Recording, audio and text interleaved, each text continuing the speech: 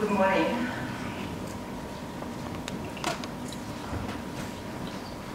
Your Excellency, Madam Fetlework Gebregziabher, Minister of Trade and Industry for Ethiopia, Your Excellency, Mr. Thomas Portier, Deputy Chairperson of the African Union Commission, Mr. Mukhisa Kituyi, Secretary General of UNCTAD. I believe we have some guests on video. They will join us later. The representative of the Director General of the WTO. Also by video today, the representative of the Executive Secretary of UNECA.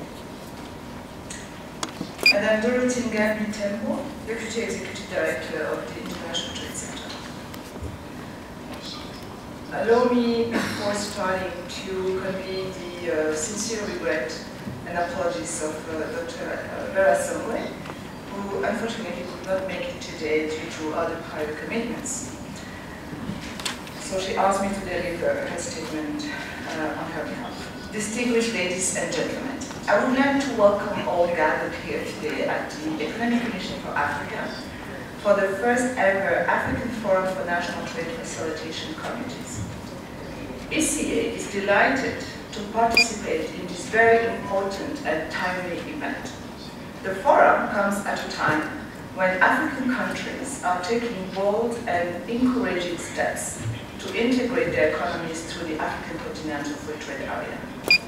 In March this year, in Kigali, Rwanda, 44 African Union member states signed the agreement establishing the uh, African Common Free Trade Area.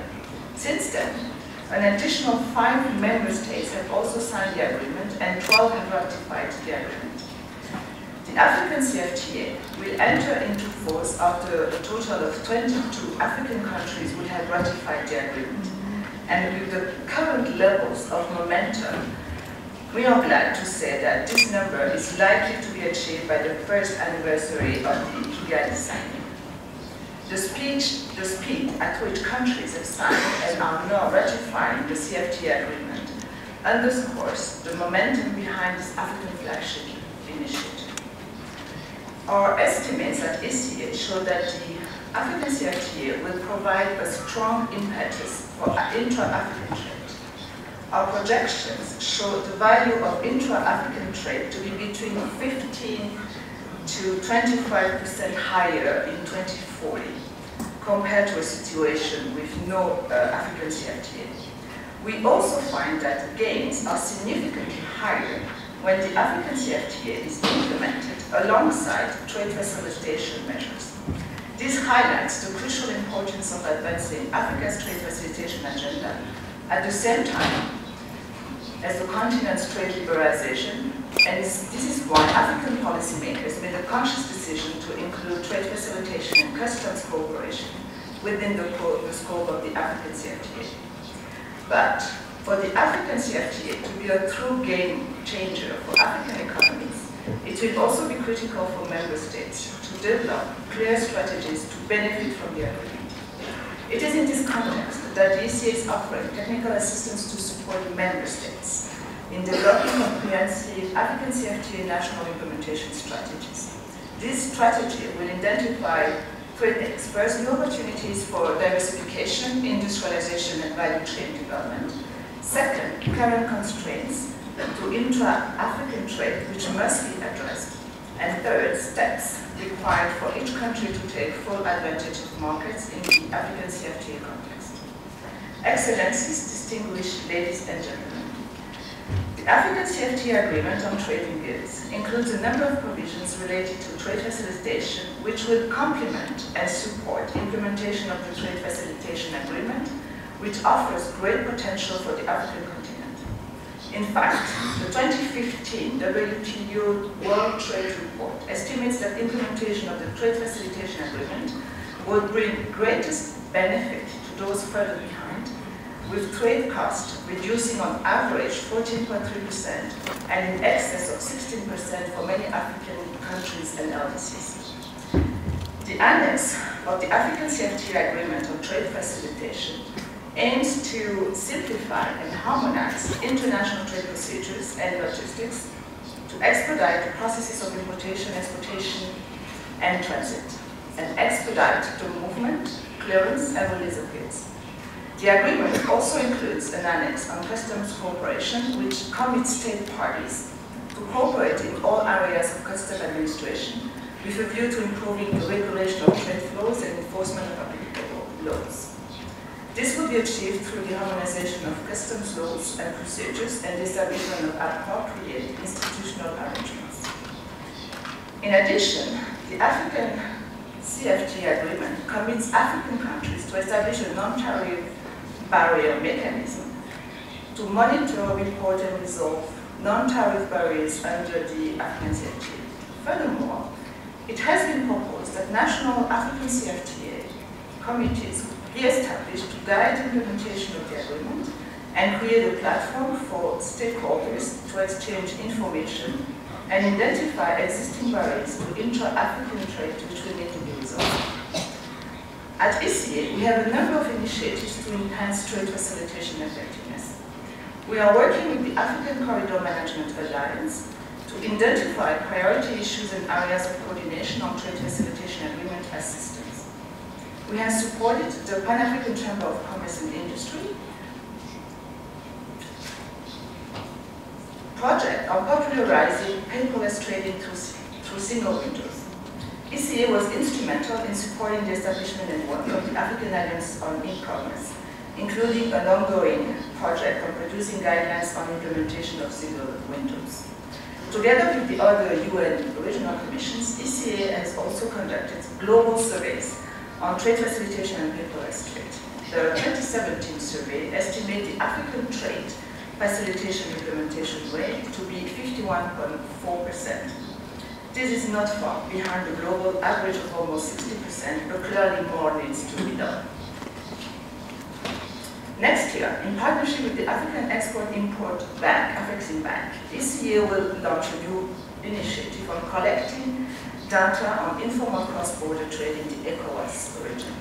This is expected to identify the challenges faced by informal traders and the actions needed to overcome the trade facilitation related challenges Excellencies, distinguished ladies and gentlemen, let me conclude by emphasizing the importance of continental multi-stakeholder forum like this one. We are here today to discuss what is needed to ensure real progress in trade facilitation on the continent. This must not be a standalone uh, forum, but instead part of a broader strategy to more effectively engage with a range of stakeholders to coordinate implementation and monitoring of the trade facilitation aspect of the African CFTA agreement. An integrated Africa will not be possible without advocacy, consultation, and consensus building. While governments need to set a conducive environment, it is Africa's traders and businesses who can best identify what actions are needed to overcome existing trade facilitation challenges. In this regard, national trade facilitation committees offer an indispensable platform for effective cooperation and information exchange on trade facilitation and customs compliance. We wish also to take this opportunity to recognize the important role of partnership, which are critical to bringing about trade change. Eight parties from across the globe have come together to organize this forum. ECA, UNCTAD, ITC, UNEC, the Global Alliance for Trade Facilitation, the World Bank, the World Customs Organization and the WTO. This highlights the importance of the forum, focus, focusing on trade facilitation, but also reflects a recognition that we can and we must achieve more together. ECA looks forward to continuing and strengthening this partnership moving forward.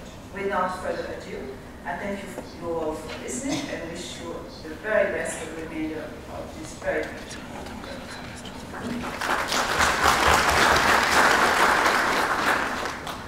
Thank you very much, Ms. Kimara. Uh, the next for welcoming remarks, and Excellency Ambassador Thomas Kwesi Quartey.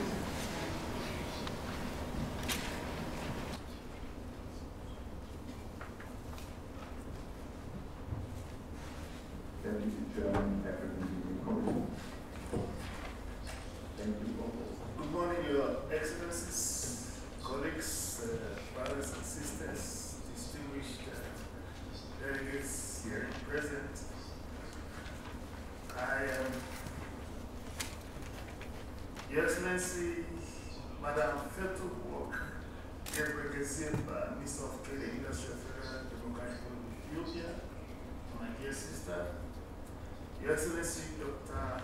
Kisa Kituyi, Secretary General of UNCTAD, Jambo, I bring you the fraternal greetings of our distinguished chairperson, His Excellency Dr. Moussa Faki Mahamat, who unfortunately is, not in town, is unable to be with you in spite of his best endeavors. Distinguished participants, ladies and gentlemen, on behalf of the African Union Commission, I'd like to express appreciation to UNCTAD for organizing the first African Forum for National Trade Facilitation Committees. Our theme, most apt for this occasion, is empowering public-private partnership for trade facilitation. I believe um, it will not be out of place to congratulate you on such an apt theme. You could not have chosen something better for this moment. Because it comes a time when we, the African member states, are clear in our resolve to boost intra-African trade. Now, the African Union plan for boosting intra-African trade is the continental blueprint for strengthening trade capacities in Africa. It aims to prepare Africa to harness the full potential of opportunities that are created or created by unlocking barriers to intra-African trade. But first, to trade, you must first produce. And to be able to produce and leverage science and technology in this production, you need education, training, and planning. So, distinguished delegates, as the Momentum Gathers team, seeking to bring into reality the African Continental Trade Free Trade Area Agreement, the dream of the African market, the African common market, which our children together can have a really decent shot, is beginning to appear on the horizon.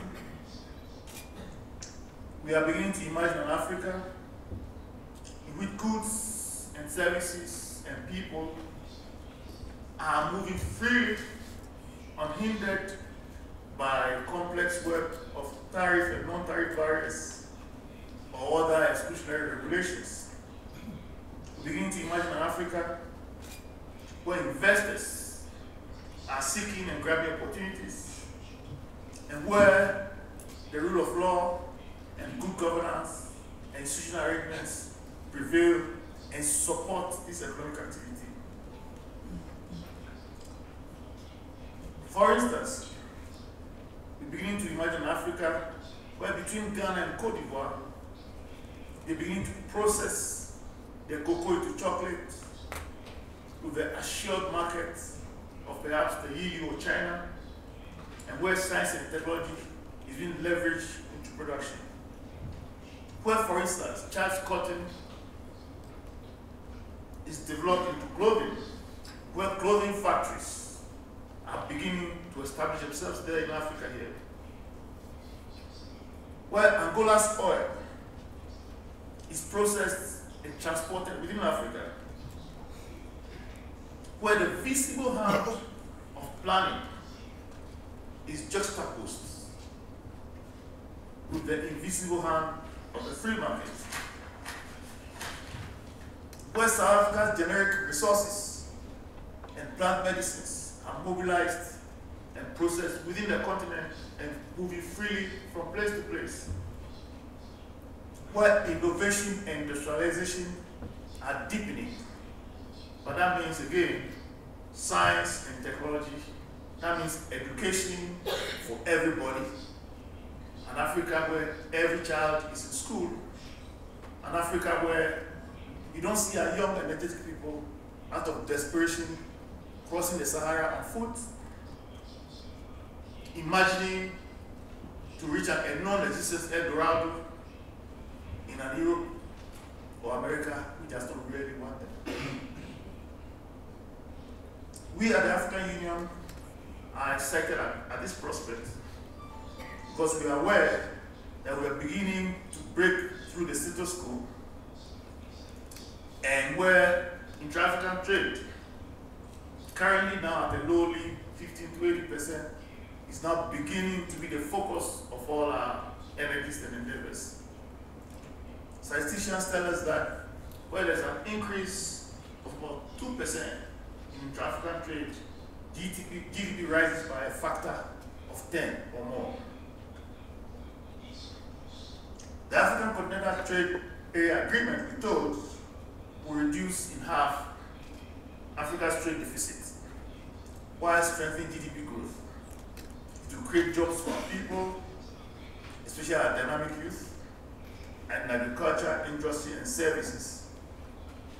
It will really lead to enhance and strengthen our transformation process and also improve our social development. But the gains are nowhere near automatic.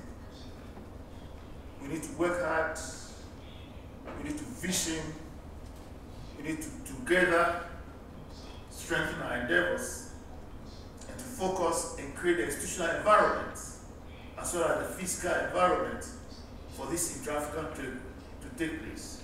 That means infrastructure connecting the continent. That means applying science and technology to production. It also means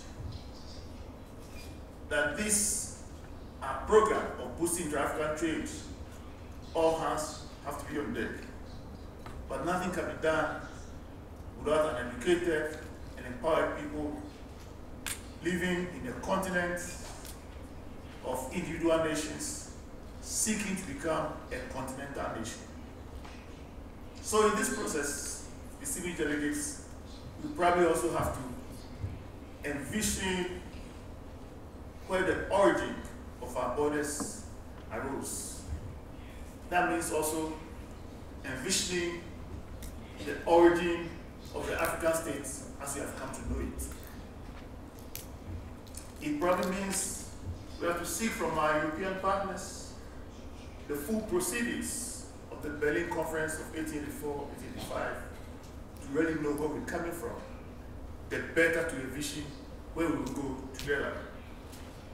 So, distinguished ladies and gentlemen,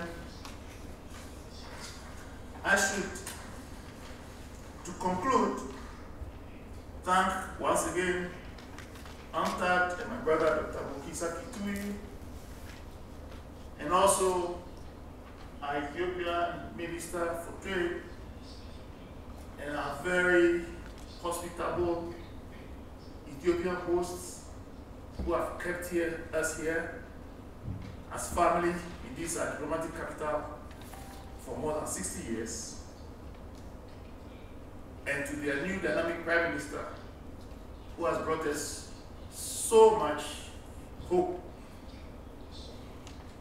and openness and transparency and continues to surprise us every day. I'd like to thank you all for your kind and polite attention. Thank you so much. Thank you very much, Ambassador Thomas Kwesi.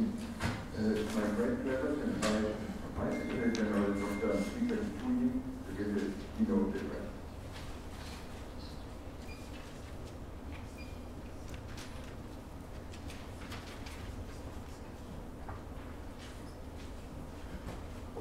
Your Excellency, Madam Fatal Gebregziabher, Minister of Trade and Industry of the Federal Republic of Ethiopia. My friend, His Excellency Thomas Kwesi Fua, the Deputy Chairperson of the African Union. Distinguished colleagues from ITEC, from our customs organization, from the World Bank, from the Economic Commission for Africa, WTO, World, uh, International, the United Nations, Conference on Trade and Development, my colleagues from UNCTAD, our colleagues from Global Alliance for Trade Facilitation, ladies and gentlemen, members of the National Trade Facilitation Committees from African countries present. First, may I, on behalf of UNCTAD, express our appreciation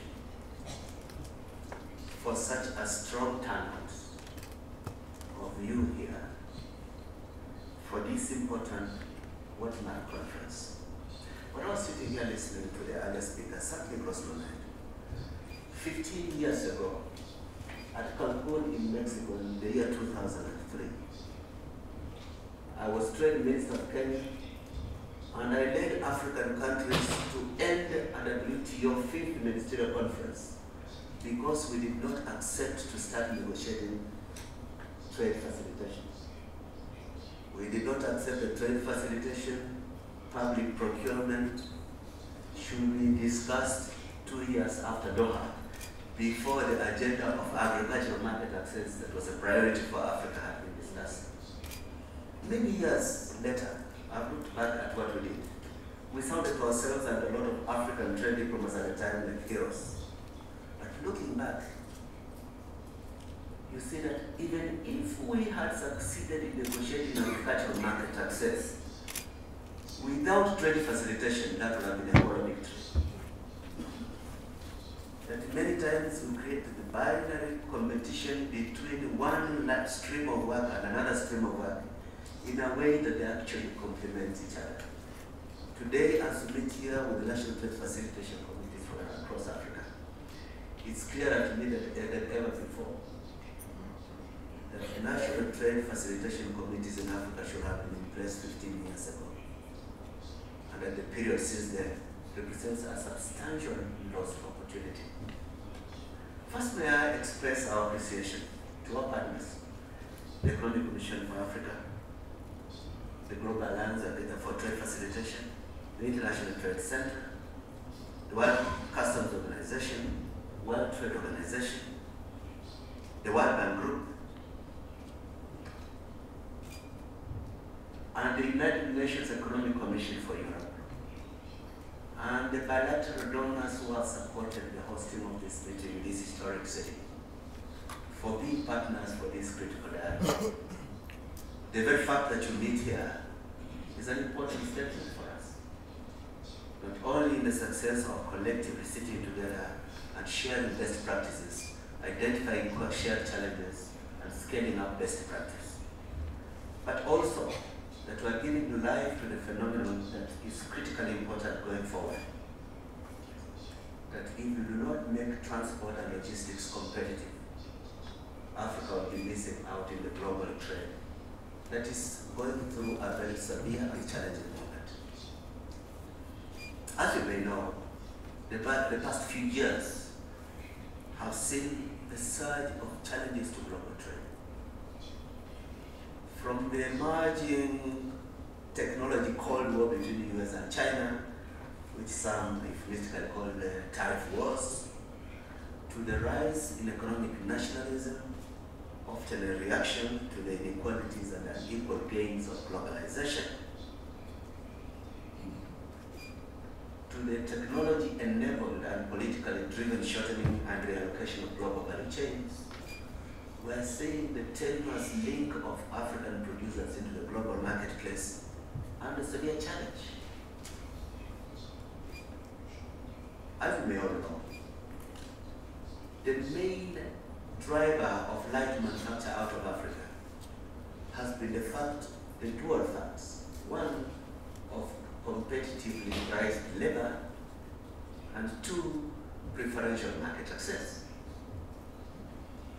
If you look at the numbers, you may be cheaper labor uh, in Swaziland. Indeed, in many competitive labor markets like Ethiopia, the cost of labor in a textile factory in Ethiopia is one third of the cost of similar labor in China. So you may have an advantage in labor pricing. But if the cost of transport of component parts to your territory and the export of the finished product out of your territory is equal to the same the cost of labor, your only incentive in the marketplace is because you have preferential market access compared to the country which is selling, serving processed products to you. What does this mean? Africa faces a moment when the market access gains that have been negotiated over the past two decades can severely be eroded unless we address the challenges of trade facilitation. The time, quality of intermodal trans transport routes, efficiencies of cross-border movement of goods and services, procedures at ports, and predictable regime of logistics management. Unless you address these core areas, the labor advantage that we have been presenting before the world stands to be nullified. That is one phenomenon. But the second, which is directly related to what I mentioned about the rising anxieties in reallocation of global value chains, is the reality that the preferences you have been uh, basing your investments on are not guaranteed in the long term. Two years ago, many of us held our breaths when the TPP was about to be signed into if TPP had been signed, Vietnam would have had an unfettered access to the American textile market. Vietnam has a textile production capacity which is more than double the entire African continent put together. And by Vietnam joining TPP and accessing American textile industry, three quarters of Africa's benefits from AGOA would have been wiped out by the calming force of TPP. It doesn't mean that the cloud on the horizon has gone away from it. It means that Africa has to think of the day when the market access preference developed under AGOA will be substantially eroded by the entry into force of new regimes for other competing nations. Many of you might remember when the multi-fiber agreement came into force and Bangladesh had reduced tariffs in entering the American and European markets with textiles, it substantially eroded the gains of AGOA for most African producers in the textile industry. I did mention technology is coming into play. The rise in economic nationalism, apart from place, playing into certain forms of politics, is also hastening the use of new production methods, robotics, and enhanced automation in manufacturing to compensate for what will be the weaknesses of high cost labor. Textile manufacturing is reopening in Georgia. What it means is that may have market access because of uh, labor, lower cost of labor. But once automation allows for profitable production of textiles in Georgia, there's no way you're going to compete with Georgia and American domestic market. As this phenomenon happened, the importance of trade facilitation for Africa has never been greater. Which is incumbent upon us all to say what is the best way of maximizing trade facilitation. Two, three things are important to me. The first one, if you look at the geography of negotiation for trade facilitation, you find that in many of our countries, the trade people who are negotiating for establishing national trade facilitation committees, they constituted themselves as the national trade facilitation committees. In our views, it's a strength of our trade committees embrace trade facilitation, but it's insufficient for an all-round balanced development of trade facilitation committees. We believe strongly that the voice of trade is important, but the voice of customs is important also, and the voice of the chambers of commerce, the manufacturers and exporters in your countries are equally important for a balanced and sustainable national trade facilitation committee. Secondly, as my colleague uh, Thomas Wesley has mentioned, as we look at how to structure national trade facilitations to grow Africa's you must see the reality that the most secure frontier of African growth driven by trade is in Africa.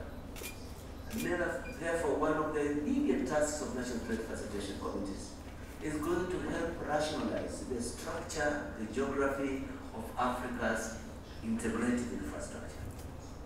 If Africa is going to trade with itself, we have to make sense of what main roads and railways are to be built to connect African producers and consumers. That role cannot be left at the whims of politicians alone. Or at least the whims of politicians should be slightly stirred by technical problems coming out of national trade facilitation even as I said, it's about the importance of national facilitation committees. You should see yourselves as partners with other players to translate the possibilities of efficient low-cost goods movement into national gain. And here I refer to the critical importance of investment facilitation. As my colleague from the Economic Commission for Africa mentioned, if you make it easier to trade and you do not produce anything to trade, you are just making it easy to import. And there's no model of an economy which developed on perpetual imports of other people's products. So pari passu with the growth of efficient trade facilitation has to be thoughtful, measured investment in building productive capacity, sound policies that attract FDIs and greenfield projects, not only giving you livelihoods and employment opportunities for the army of African young men and women, but also making the facilitation of trade gainful to the growth of Africa's development. Thank you very much for your attention. Thank you very much, Mr. General. Uh, It's a pleasure to invite uh, the committee minister, Ms. Sanga, Minister of Trade and Industry of our home country, Ethiopia.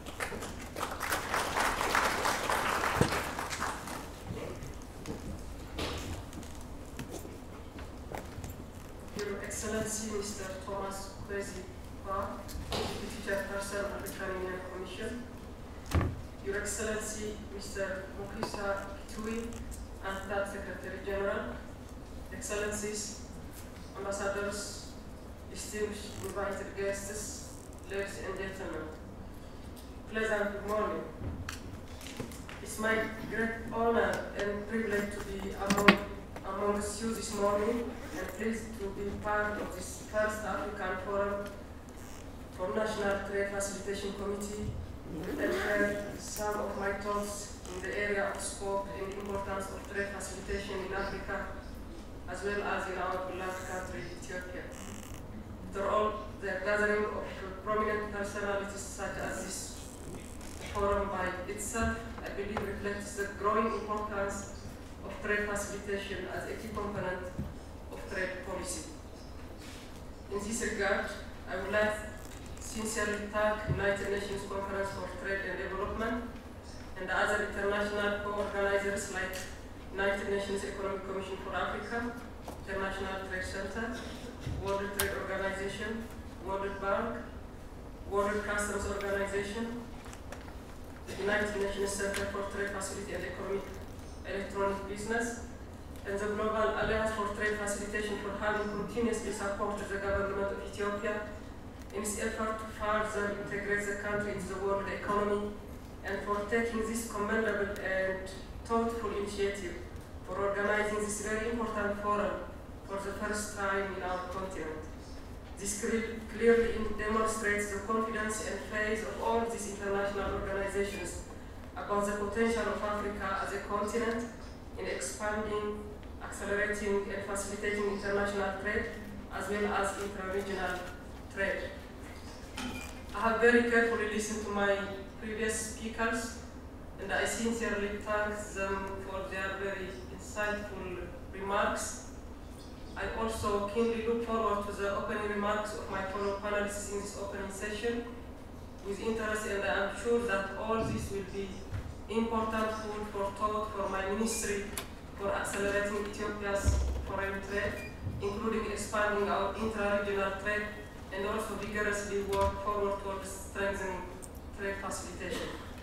Your Excellencies, distinguished ladies and gentlemen, at the outset, I, might, I must say that in this increasingly independent world, we need to more and more open, free, and cooperative in the trade arena so that all of us benefit from the gains of trade through competition and cooperation.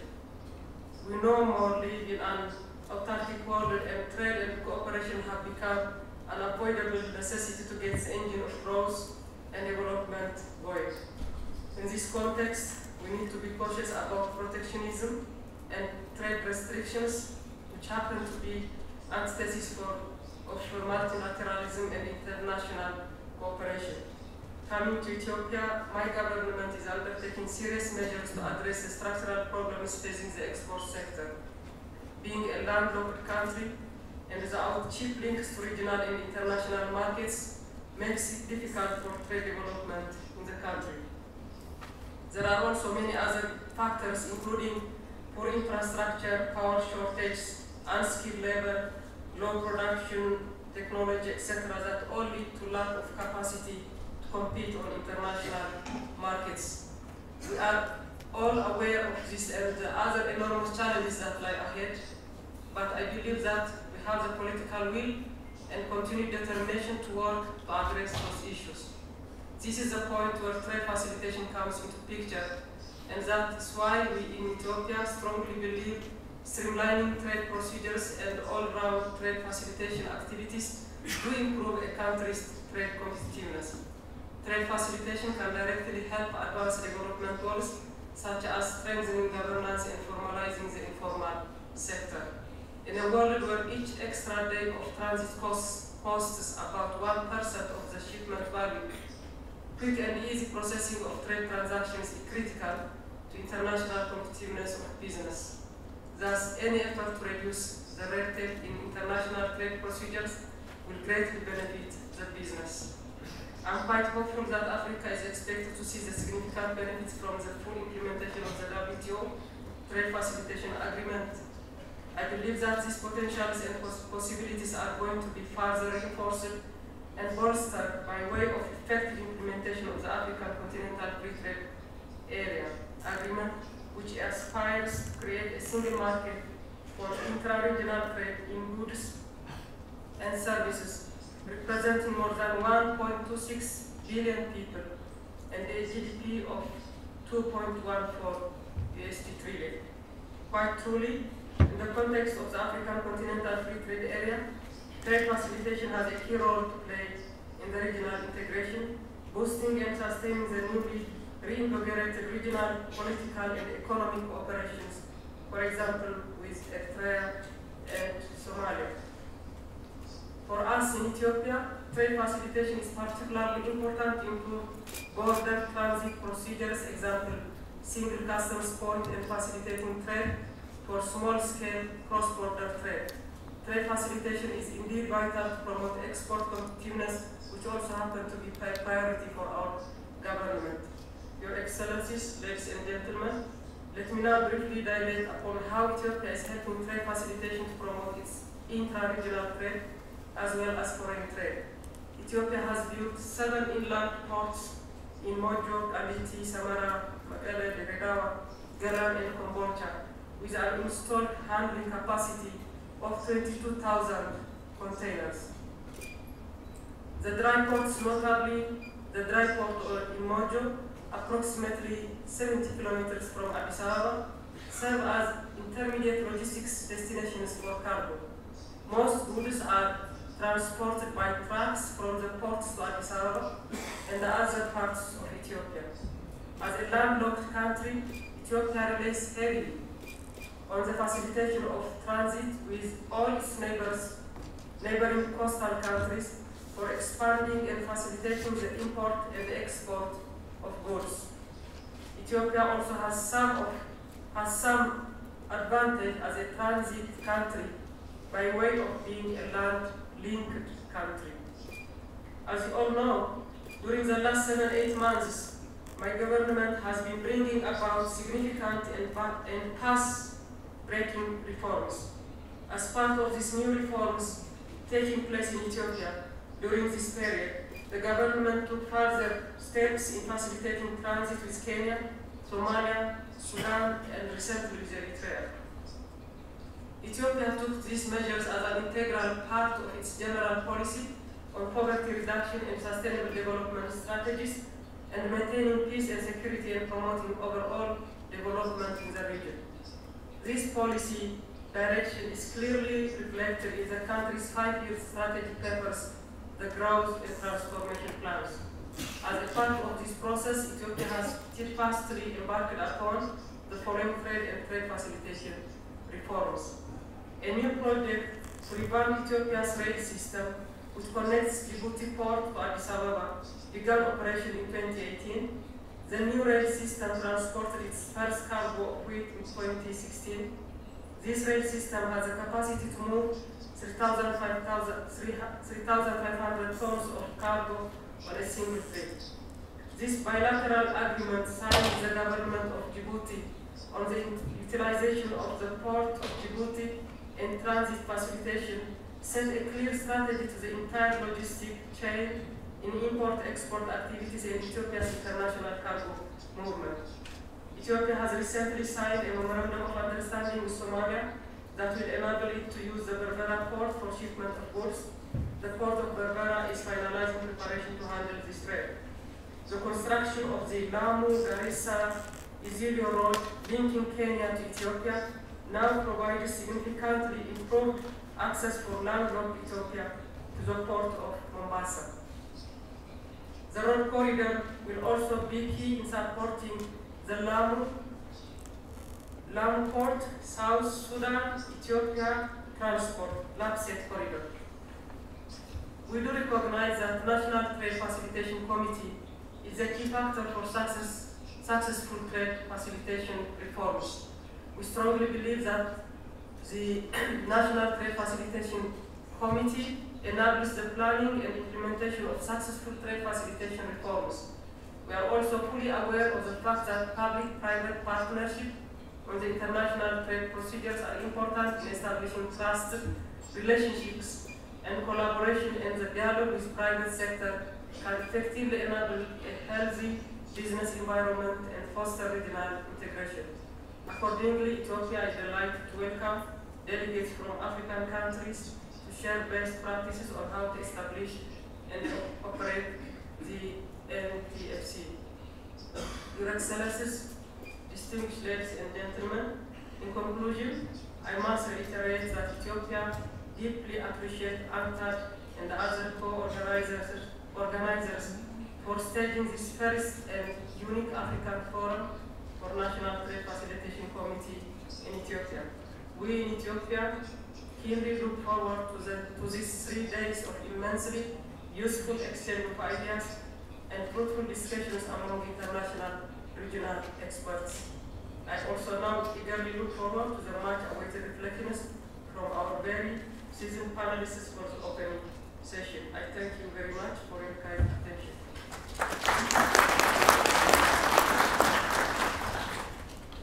Thank you very much, Your Excellency.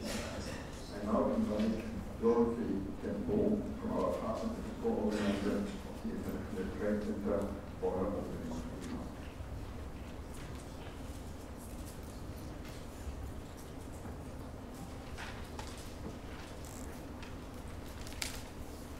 Good morning. Uh, Excellency, Madam Fetlework, Gebretsieva, uh, I do apologize if I butchered that name, uh, Minister of Trade and Industry, Federal Republic of Ethiopia, His Excellency Ambassador Thomas Kwesi Quartey, Deputy Chairperson, African Union Commission, His Excellency Dr. Mukhisa Kituyi, Secretary General acted, Excellencies, ladies and gentlemen, dear friends, I am very honored to be amongst you this morning. And I am also very pleased to be amongst you this morning, being a citizen of this continent. It is always a pleasure to be back home. Back home in a context that is also pleasing. The Secretary General shared with us the experience from Cancun. And I was part of Cancun. At that point, I left Cancun feeling rather sad because I was thinking perhaps I didn't do my duty in trying to ensure that my political um, leaders understood the link between the negotiations, which we were very much focusing on the tariffs and other issues, and the trade facilitation. And I came back feeling maybe I could have done something more in my capacity then as chief trade negotiator for Zambia. But subsequently, when I saw that within the context of the follow-up work, that we were actually moving forward in accepting that trade facilitation is very much an integral part of the conversations that we needed to have in the context of the WTO, I really felt we're moving in the right direction. Because as you rightly pointed out, we can produce as much as we, we can. If we can't sell, we're not moving to any better point. Which is why ITC is very pleased to be a co-partner in this first African Forum for National Trade Facilitation Committees. ITC remains of the conviction that the realization of food trade benefit lies largely in the successful, effective, and efficient implementation of trade facilitative by countries, the African regions, and the continent at large. We, in this regard, are glad to be associated and contribute to the faith, fruitful cooperation within the Geneva Trade Hub, especially with UNCTAD, UNECE, and the World Trade Organization in supporting the implementation of the WTO Trade Facilitation. Any policy or reform is as good as it is implemented in order to have a meaningful impact on the cost of cost and ease of doing business. Several estimates, as many of you may already be aware, converge to a reduction of cost of trade around 14% when the agreement, the WTO Trade Facilitation Agreement. In recognition of this potential benefit, ITC supports developing countries to implement trade facilitation reforms as an integral part of fostering small and medium enterprises competitiveness by taking a whole supply chain approach. The National Trade Facilitation Committees being a critical aspect of this work and having a key role of ensuring that the full benefits of reforms are shared by all actors in the economy. I would emphasize that trade facilitation reforms are only as good as SMEs are able to benefit from it. You, dear members of the NTFCs, bring governments, traders, and trade facilitation support institutions to work together through a platform of continuous dialogue. You are, the guardians of this agreement. It is the NTFCs that must be placed to channel the needs, priorities, and challenges of the business community. It is the NTFCs that must provide the regular fuel to implementation, providing on the ground evidence on how trade facilitation reforms are improving compliance and indeed promoting competitiveness of SMEs. However, we also understand that such a responsibility does not come without its challenges. Our objective, working with our partners this week, is therefore intended to help you better understand the key issues and how to overcome them, and indeed enhance the implementation of the agreement. So what are some of the observations we have made in the context of our work? One is that it is fairly easy to establish the NTFCs. What comes beyond that is what seems to be challenging. It is much harder to maintain, to ensure coordination, and deliver continuous results. As it is difficult to have consistent and broad-based participation. Those that we have spoken to in the field have often cited lack of financial stability, legislative basis, and a clear work program to successfully sustain operations as being, as being some of the challenges that confront them on a daily basis. But they also have indicated lack of, a, uh, of, a permanent, of permanence uh, in the form of secretariats to facilitate the proper functioning of the trade facilitation institutions. They also have faced limited private sector participation and feel very powerless when unable to turn recommendations into action. Businesses have also questioned the value for money when they don't see the results and follow up of these recommendations. And subsequently, what we have seen happening is that the participation in the dialogue and indeed the accompanying demands seems to dwindle progressively if this does not happen. ITC, along with a number of organizations present here today, assist these NTFCs in addressing all these issues. As of today, ITC has helped to establish and strengthen many of these uh, entities across the African continent. Examples of this include Botswana, Guinea, Cote d'Ivoire, Burkina, Mali, and Niger.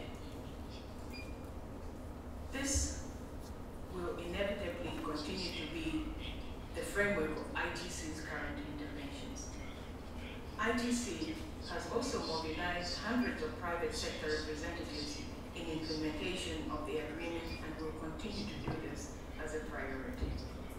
In collaboration with UNCTAD and UNECE, ITC has developed a step-by-step -step guide on how to set up the NTFCs, including guidelines from around mandate, membership, structure, and funding. Most importantly, we have looked at best practices for the effective participation of the private sector in all stages of policy making with a view to create sustainable mechanisms of effective public-private dialogue. Giving business a voice on trade issues is the very core of ITC's mandate. The participation of the private sector, especially SMEs, is crucial to the effectiveness of the dialogue. From awareness raising to in-house coaching to help SMEs improve their import-export management processes, ITC continues to be your partner. This work is taking place both, this work is taking place at the national level. But I wanted to, to state that the regional dimensions remains very critical in this particular aspect. And therefore, we as an entity continue to work in regional integration efforts in all the continents. Trade facilitation is an essential ingredient to synchronize reforms at the regional level to create a more predictable trade environment, increase intra-regional trade as we head, and foster regional integration. I am confident that in the context of Africa, the African Continental Free Trade Area will promote a coordinated and harmonized implementation of trade facilitation commitments to complement the trade opening envisaged for a continent-wide. The implementation requires securing funding and expertise to allow sustainable impact. I hope that the sessions on how to access technical assistance that have been planned for this week will lead to a better alignment of demand and supply, and even clearer financing options to support developing and least developed countries. We must ensure no one is left behind. For my part, Pledge that ITC will continue to partner with other international organizations active in this space, as well as the private sector in developing and developed countries so that we can contribute to deliver value for money. To end, I would like to thank our host, UNECA, and indeed our partners that we have been working with and those that have enabled this event to actually take place. Ladies and gentlemen, as trade hits strong headwinds, let's keep demonstrating how lowering trade costs can help SMEs participate in international trade and through that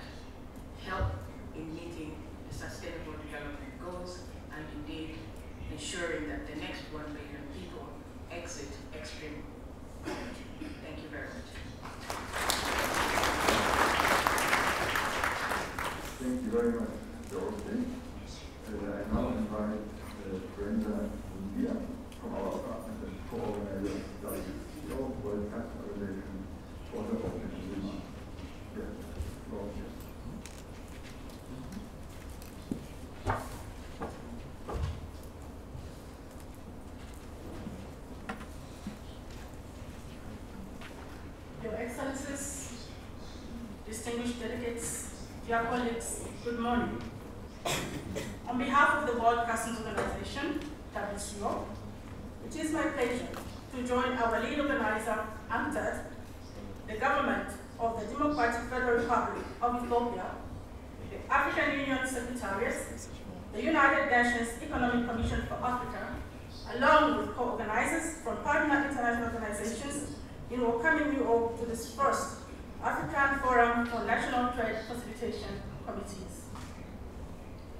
Encouraging to see such broad representation of distinguished national and regional delegations all united around the common agenda of making the renewed momentum to the trade facilitation agenda work for Africa. We share a common, strong belief that increased inter-Africa trade and trade with the rest of the world can be a robust engine for generating participative economic growth that will support countries in Africa to achieve the Sustainable Development Goals by 2030. And recognizing the social and economic role played by customs, the WCO and its membership, which collectively process about 98% of global trade, stands ready to contribute to these efforts by, among other activities, supporting the successful implementation of the WTO Trade Facilitation Agenda and its underlying principles of predictability, transparency, partnerships, and the use of modern techniques and technologies. And while the TFA sets out these high-level principles that underpin trade facilitation measures, WCO instruments, tools, and guidelines provide more detailed guidance on how to implement the principles at a practical level and justifiably so. The TFA is focused on border formalities, and customs is right at the front lines, ensuring that traded goods comply with national legislation, international trade agreements, and policies that directly apply to cross-border trade. At the same time, the WCO recognizes that customs administrations and other border agencies must balance facilitation with the imperatives of revenue collection, border security, societal protection, and other compliance issues. We cannot ignore these multifaceted missions, especially when customs duties continue to represent a large proportion of national revenues in Africa, and when the movement of illicit goods continue to be a risk. It is in this context that the WCO champions active participation of customs administrations in coordination mechanisms at all levels of border management, which includes national trade facilitation committees that now serve as platforms for policy coordination and stakeholder engagement of both private and public sector. Unfortunately, customs administrations in Africa have long been well exposed to principles of trade facilitation through the WCO's revised Kyoto Convention, the blueprint for modern customs administration, that was extensively referenced during the TFA negotiations and therefore remains equally useful in the practical implementation of the TFA measures together with other related WCO instruments and tools.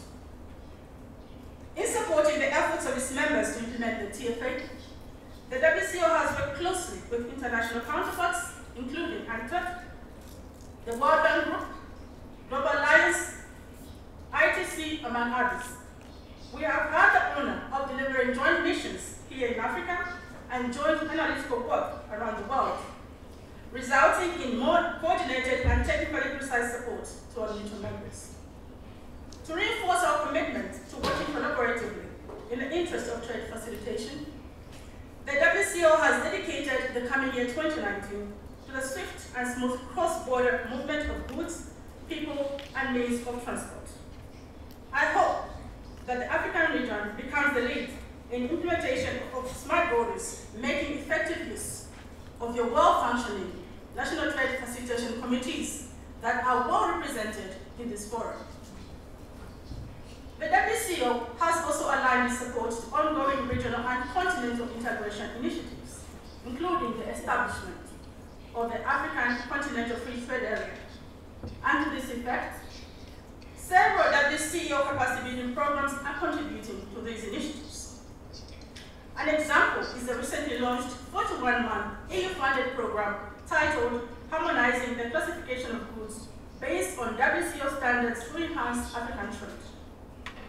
And as you are all aware, the WTO's harmonized commodity description and coding system, generally referred to as the harmonized system or simply the HS, contributes to the harmonization of customs and trade procedures and enables trade data interchange in connection with such procedures, thus reducing costs related to international trade. And to ensure this support is sustainable, using the WCO's unique customs to customs capacity building model, the WCO has accredited more than 150 customs experts from across Africa, and this number is still growing. WCO accredited experts understand the intricacies of trade facilitation and therefore are well positioned to support customs reform and modernization initiatives, all within an African context. And this also underscores the fact that many of the solutions to trade facilitation lie right here in Africa. We are all in this journey together. We are still facing similar challenges. We can learn from each other, and we can learn from our global partners. I am looking forward to sharing some of the essential WCO tools addressing each areas of interest to this forum, particularly those relating to single window and coordinated border management. The WCO's Mercator program, which I will address in detail later in the week, is premised on effective application of these and other WCO instruments and tools as a foundation for TFA implementation. In closing, I'd like to express my sincere appreciation to Her Majesty's Revenue and Customs of the United Kingdom and the Government of Finland for providing financial support that has enabled the participation of the WCO and some sponsored delegations in this important forum. I also extend this thanks to other bilateral, other bilateral partners that are supporting actually the participation of many other delegations who are present here. I'd also like to offer particular thanks to staff at UNCTAD who have worked tirelessly to coordinate seven different international organizations and more than 50 national delegations at a complex agenda. I remain convinced that we will have a successful forum that will further renew our collective resolve to move forward with implementation of trade facilitation measures in a coordinated and consistent manner.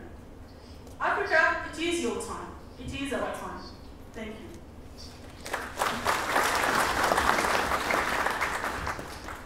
Thank you, Brenda.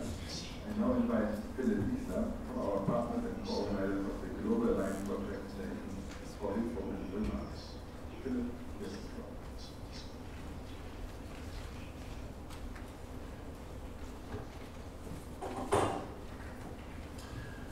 Excellencies, distinguished ladies and gentlemen, dear colleagues, on behalf of the Global Alliance for Trade Facilitation team, who is co-organizing this event, I would like to welcome you to the first edition of the NTFC Forum in Africa.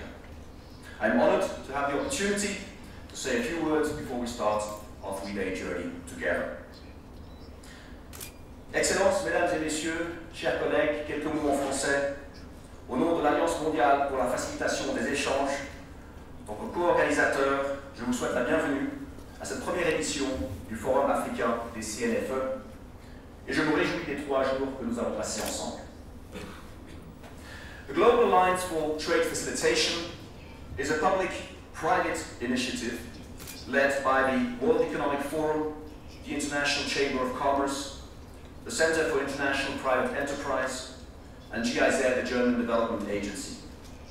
We are funded by the governments of the United States, Canada, Germany, United Kingdom, Denmark, and Australia.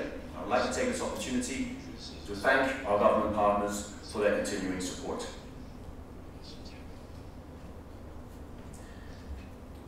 Together, we support trade facilitation reforms by leveraging private sector expertise and leadership, contributing to the implementation of the WTO Trade Facilitation Agreement.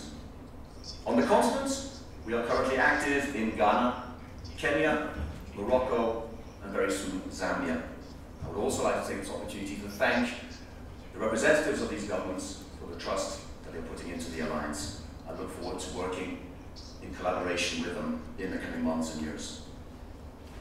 There's, of course, no need to re-emphasize the importance of the TFA and the need for its effective implementation to further streamline the movement of goods at and beyond the borders. The potential of trade facilitation on the African continent is enormous, contributing to economic development and poverty reduction. The thriving private sector, both large and small, are desperate for progress in this domain, which will build prosperity and sustainable growth.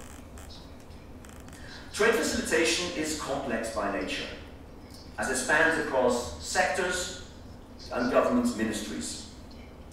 During the negotiations of the TFA, WTO member states outlined the importance of having an effective mechanism to ensure and oversee a holistic implementation of the agreement in a structured and coordinated way. The National Trade Facilitation Committees were incorporated into the TFA to do just that. The vision was to establish efficient platforms which were rep where representatives from the public and the private sectors could consult, inform, coordinate, and engage for the common cause. As we meet today, nearly two years after the coming into force of the TFA, NTFC implementation is uneven across the continent. They vary from well-structured, well-functioning committees to embryonic structures which still require clear direction, governance, and vision. As we progress with the alliance projects in Africa, but equally in other parts of the world, from design to implementation, it is becoming very clear that we rely on very well functioning NTFCs to achieve our own objectives. We consider NTFCs as our allies to better understand the trade facilitation priorities, serve as a catalyst for reform, a platform for discussion, and a partner that we regularly engage with to help us measure success of our work. In fact, it is becoming evident that NTFCs are critical to the success of trade facilitation.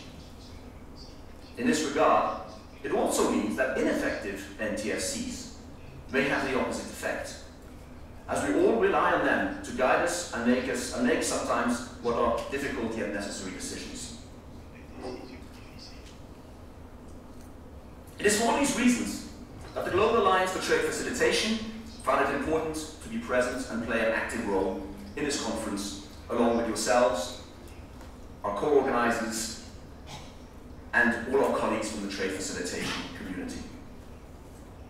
As an initiative, we do not represent the private sector, but we act as a catalyst to ensure the private sector is incorporated into the reform process. Without private sector, there is no trade.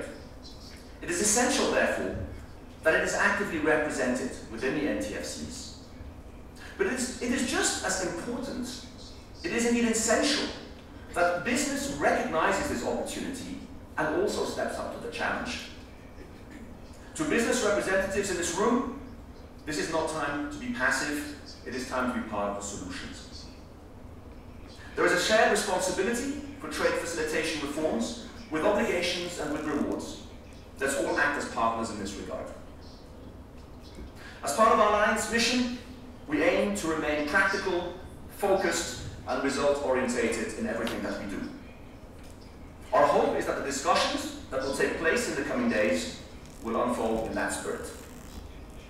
Let's find pragmatic solutions, let's learn from each other, and let's let ourselves be real set realistic targets that we can achieve in a reasonable amount of time when we all get home.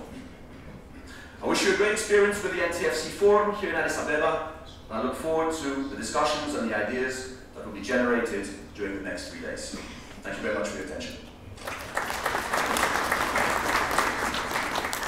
Thank you very much, I Manuel co-organizer of the World Bank for Vienna. Manuel.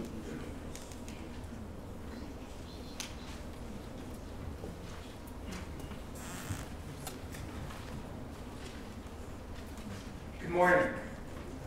Taking a risk by putting my notes on the phone rather than having it a hard copy, so my apologies in advance. We'd like to first acknowledge the head table, Your Excellency. Thank you very much. And, and everyone that's attended, you know, protocols observed. I'd like to thank our co-organizers, especially UNCTAD, and our sponsors who have provided financial assistance so that we could all attend here today. A sincere and warm welcome to the delegates, to you, who have taken the time uh, out of your work in order to be here this month. Without you, this is all for naught. So I want to thank you very much. The World Bank Group is honored to be part of this distinguished panel and organizations. But to be allowed into your NTFCs and regional trade facilitation committees is something that we take with high regard, that we recognize it's a privilege and not a right. And so we thank you for that. The World Bank Group will be part of the next panel, and I will leave all the excellent things that we're doing to help make the world a better place to that point.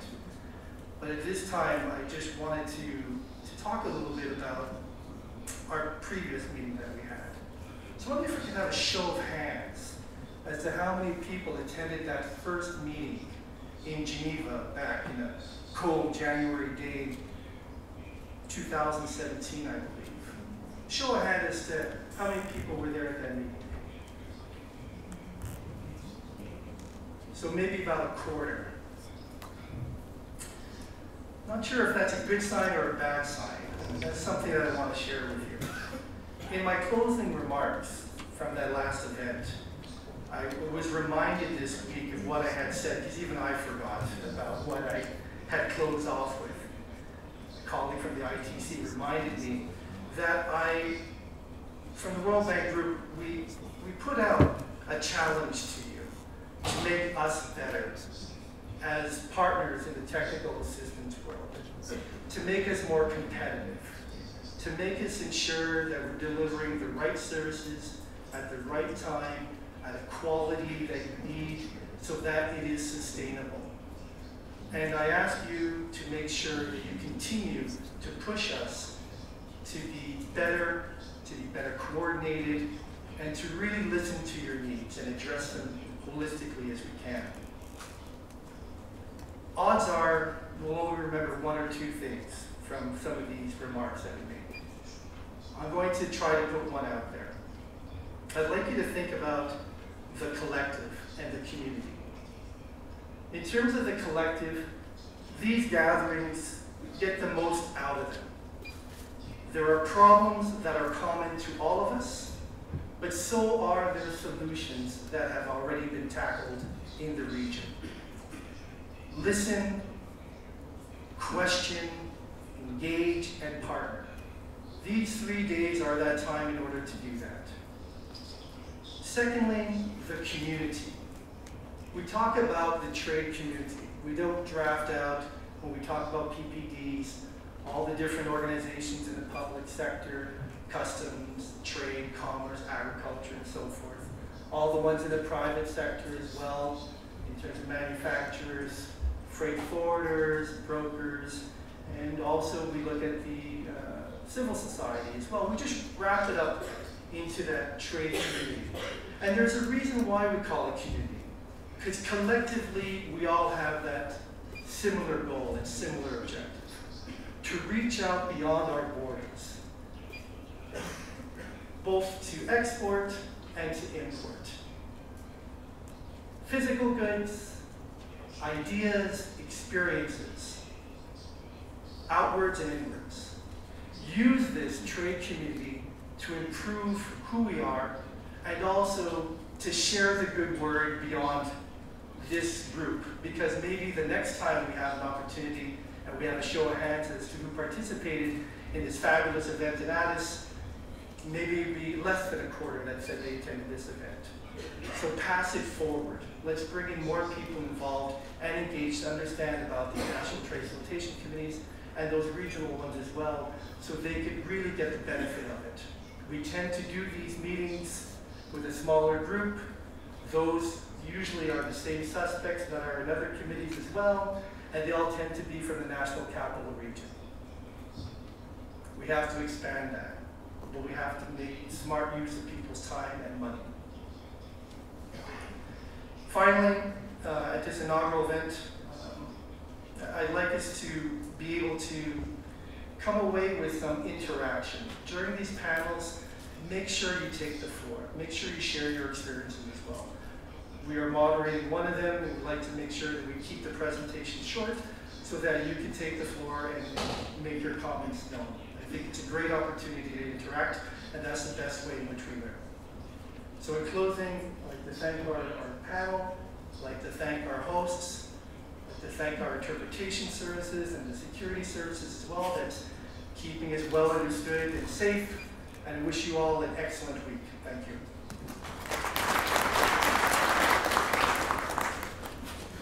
Thank you very much, uh. We will now have two statements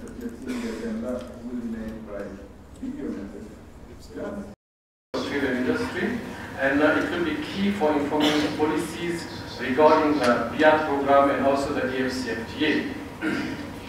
so this is in terms of trade information, and as we know, information is very key for trade. Actually, like we all say, uh, we all know also that information actually is power, and it is very important for traders to have the trade-related information uh, when they require. I want to also share with you now the outcome of the ninth meeting of what we call the AU Subcommittee of Directors General of Customs, who normally deal with the trade facilitation issues. The ninth meeting was held in Cameroon, Yaoundé, in November 2017. The theme of the meeting was actually in line with the WCO theme for that year.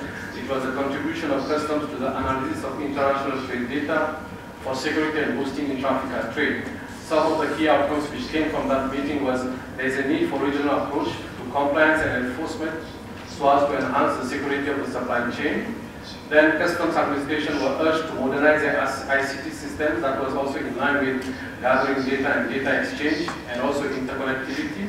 The AUC in collaboration with the WCO, UNCTAD and other development partners to, to carry out capacity building for member states in the area of risk analysis. Then also issues of security, because we know in the region, especially in the West and Central Africa region, security remains a very big concern. So issues of security, private sector involvement, legal framework for interconnectivity and transit be adequately dealt with in uh, 2018. I just wanted to mention with you that as far as private sector involvement is concerned, whatever we do in, in terms of trade facilitation, we always uh, collaborate and consult the private sector on relevant issues. The DGs also felt the need for the African Union Commission to adopt and implement the Niamey Declaration. This uh, declaration actually, it, it, was a declaration which was created by the WCO with some uh, customs administration which calls for the governments to work on the termination of what we call pre-shipment inspection.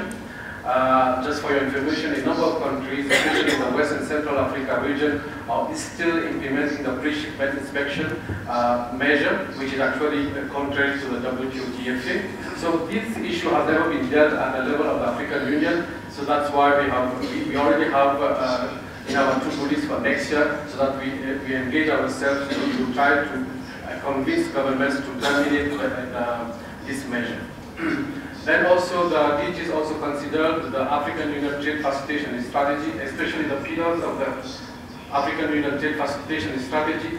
And uh, the main, the, the, strategy has already been developed and also it has been presented to the DGs and it will be presented to the ministers. I just want to show you some, uh, some seven, the seven pillars which are there. Simplification and normalization of uh, procedures, ICT, security, transport issues, SMEs, and NTBs some of the activities which are trying to already be putting in place in terms of the strategy already in the PowerPoint. I'm, not going to uh, dwell on that one because it will take time. Then uh, we have some specific activities which we did with member states, for instance, to combat corruption, which is in line with the AU theme for this year.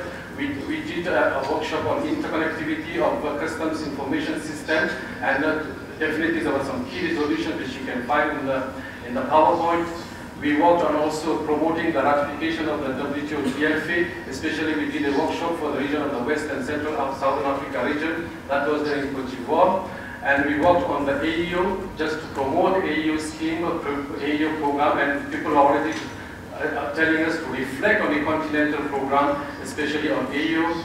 We work on transit issues because transit remains a very pertinent and challenging issue because actually, uh, to me, it seems like there is no effective, very effective and efficient uh, transit system in Africa. That's why there was a, they, they, felt a need, and the workshop felt a need to explore the accession and implementation of the TIR Convention maybe, and that is why we have a plea to the WCO, UNCTAD, UNECA, RECs, and other partners to join hands maybe to, to, to find a proper solution as far as transit is concerned.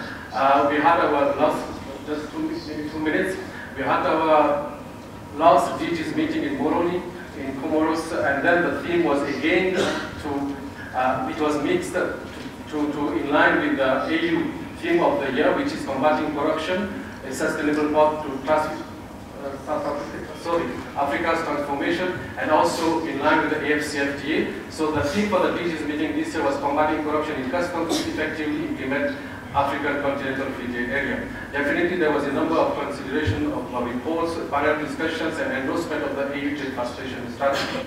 Finally, I just wanted to share with you that whatever we are doing at the level of the Commission in terms of trade facilitation, we are always inspired by the aspirations of the AU leaders enshrined in the Abuja Treaty, Agenda 2063, the AU Assembly decision, AU STC decision, and also the Subcommittee of Director General's recommendation.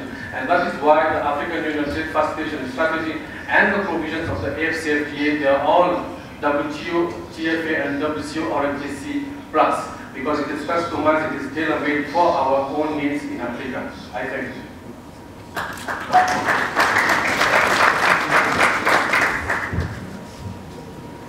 Thank you, uh, Duran. Let me apologize again for hurrying all of you up. It's what happens when we lose time in a grand opening, but grand opening was necessary because this is a big partnership. So we have to, you know, to, to, to, to, to showcase all our partners in this endeavor.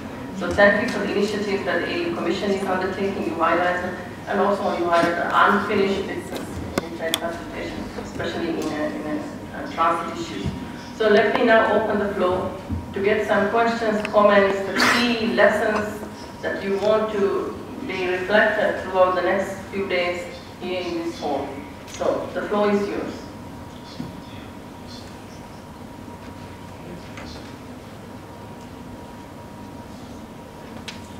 I am kind of blind, so I cannot see. I think it's Senegal. Please, go ahead. Merci, Madame la Présidente. Je remercie euh, les prés euh, présentateurs de communication. Euh, J'avais juste quelques questions et commentaires de- à l'endroit euh, de la CNUSEC et de la Commission de l'Union africaine. Euh, concernant la j'ai relevé euh, avec attention, en tout cas, le travail qui est en train d'être mené, euh, surtout pour euh, l'accompagnement euh, des pays pour la mise en place euh, d'observatoires sur les barrières non tarifaires et des bases de données. Nous sommes particulièrement intéressés parce que le Sénégal a mené une étude sur les barrières non tarifaires en 2013 et souhaiterait peut-être euh, aller plus loin. Donc, euh, quel est le mécanisme, quelles sont les procédures à suivre pour bénéficier de cette assistance? Euh, Les autres questions euh, concernent la Commission de l'Union africaine. Les activités qui ont été déroulées jusqu'ici dans le cadre de la facilitation des échanges, nous nous demandons quelle a été l'implication, le niveau d'implication des comités nationaux de facilitation. Euh, parce qu'il y a beaucoup d'activités que nous euh, découvrons ici nous sommes tous des membres de ces comités nationaux. Est-ce qu'ils ont été euh, contactés, impliqués, etc. Euh, Qu'est-ce qui est prévu également au niveau continental pour la coordination des, des activités? Au niveau des communautés économiques régionales, euh, il y a des projets en vue de l'établissement de comités régionaux de facilitation. Est-ce que la même chose est envisagée au niveau continental? Et la dernière question, euh, quel est euh, en tout cas euh, le niveau de mobilisation des, ressources? Parce que lorsqu'on regarde le bien, donc beaucoup en tout cas de domaines sont liés aux infrastructures et on sait qu'ils sont très exigeants en termes de financement. C'est l'un des points d'achoppement même avec les, les partenaires techniques. Souvent les activités euh, sont euh, ont trait au renforcement de capacité et euh, à l'assistance technique et donc pour la mise en œuvre de projets impliquant des infrastructures, c'est beaucoup plus problématique. donc, quelle est l'expérience de, l'Union africaine et est peut-être qu'est-ce que les États membres de, l'Union africaine peuvent attendre par rapport à ce Thank you so much. I think there were like four questions there, and then anybody else, there, please go ahead and please uh, identify yourself because I cannot see the flag.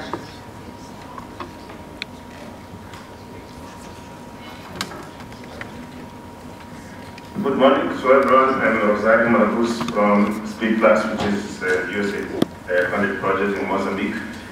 Uh, just a quick question uh, on the sustainability of the National Trade Facilitation Committees.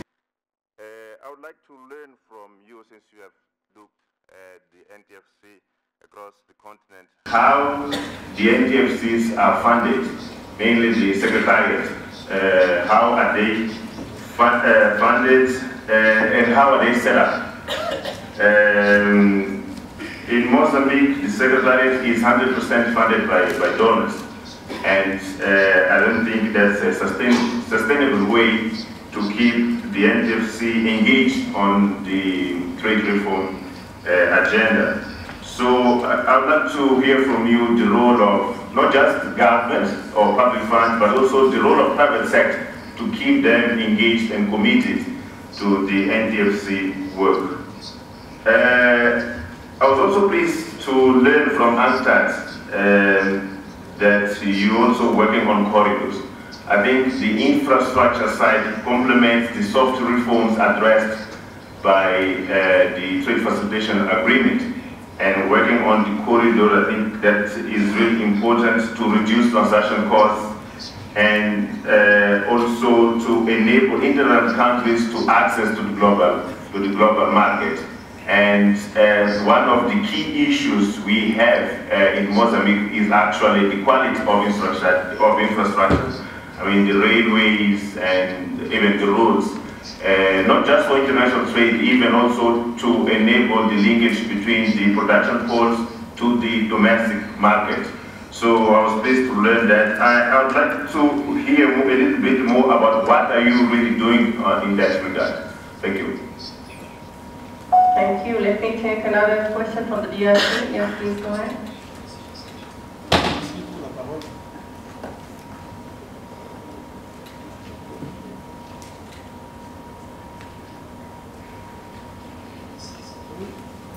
Yes, please go ahead. Oui, merci pour la parole. Bien. Euh, je vais commencer d'abord par euh, Madame la modératrice pour euh, son introduction. Et ensuite, euh, j'ai suivi avec un réel intérêt euh, les communications faites par les experts de la Commission économique, pour l'Afrique. Et donc, j'ai constaté qu'il y avait une étude qui avait été menée sur l'évaluation des, performances sur base de certains indicateurs qui ont été présentés ici. Et donc, euh, ma préoccupation consiste à faire une proposition. Euh, il, est, intéressant d'élargir euh, cette étude à d'autres pays, au niveau de l'Afrique et éventuellement au niveau sous-régional. Donc, si on peut mener pareilles études avec la collaboration, en étroite collaboration avec les réseaux sous-régionales, de manière à ce que sur base les résultats qui seront obtenus sur base de ces indicateurs-là, essayer, et c'est ce qui est important, de faire des propositions hein, euh, ou une ordonnance pour que euh, les collectifs, évidemment, soient, apportés. Parce qu'il va de soi que, généralement, nous avons euh, constaté, et parfois qu'il y a des, il y a des retards dans la mise en œuvre justement des réformes. Et donc aussi, à travers ces mécanismes, on peut faire des correctifs et faire des suivis réguliers et sûrement que euh, la mise en œuvre des, mesures sera euh, plus rapidement euh, opérationnelle et les résultats seront sûrement des résultats positifs. Alors, s'agissant de, de la il a été proposé, ça j'ai eu à dire et même suivi, la mise en place des comités, des comités nationaux pour euh, la mise en place des zones de la ZECAP au niveau national. Or, au regard de l'implication, de la corrélation qui existe entre la ZECAP et même l'AFE, euh, l'AFE qui prévoit déjà la mise en place des comités nationaux, est-ce qu'il y a des mécanismes ou euh, des études qui sont menées pour euh, voir comment mettre en place une, synergie d'action entre les comités nationaux de façon d'échange et, et celui ou ceux de la ZECAF voici questions que j'avais. Merci. Thank you very much for this very pertinent question. So let me take one last question and then because we need to get back to our panelists, but they will resonate with them too because these are you know, larger, bigger issues that we need to handle throughout the uh, next few days. So please, Nigeria.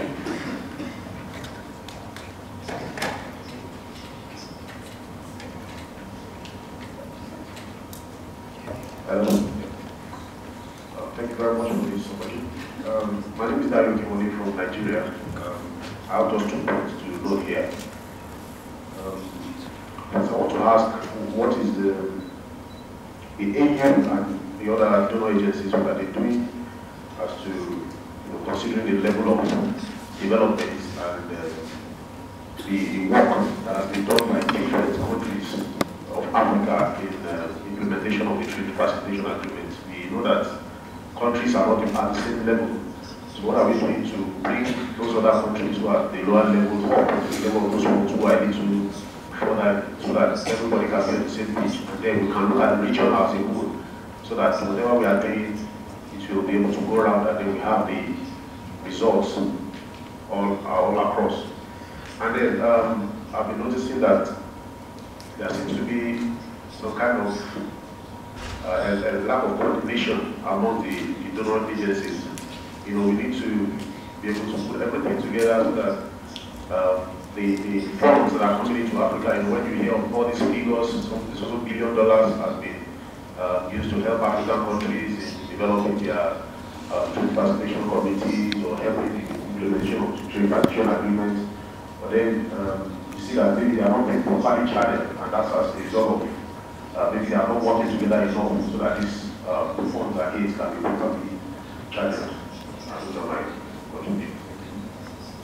Thank you. I think Burundi, you seem to have big question. so I think I will close after that because we need to get to the next panel. And I will also get the panel to reflect on these uh, queries and you know, present accordingly your work. So please. Merci beaucoup. Madame, pour son acte passé, pour pouvoir poser que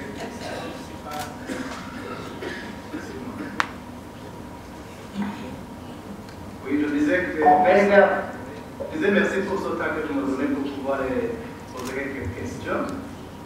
si on regarde les efforts qui sont en train d'être menés euh, pour faciliter le commerce, nous voyons que l'effort est essentiellement axé sur euh, les procédures, comment procéder les procédures, les procédures, etc.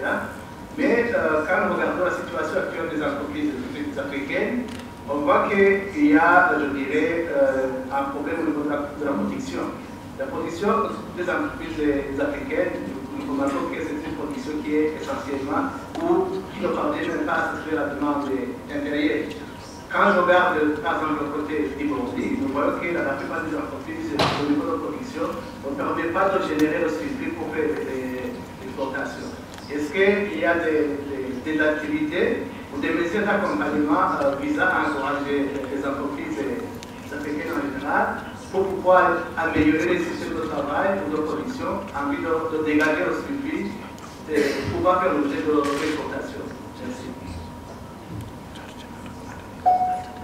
Thank you very much. So let me get our distinguished panelists to answer, but you know, I, I, unfortunately I feel like a school teacher. I give you one minute to answer.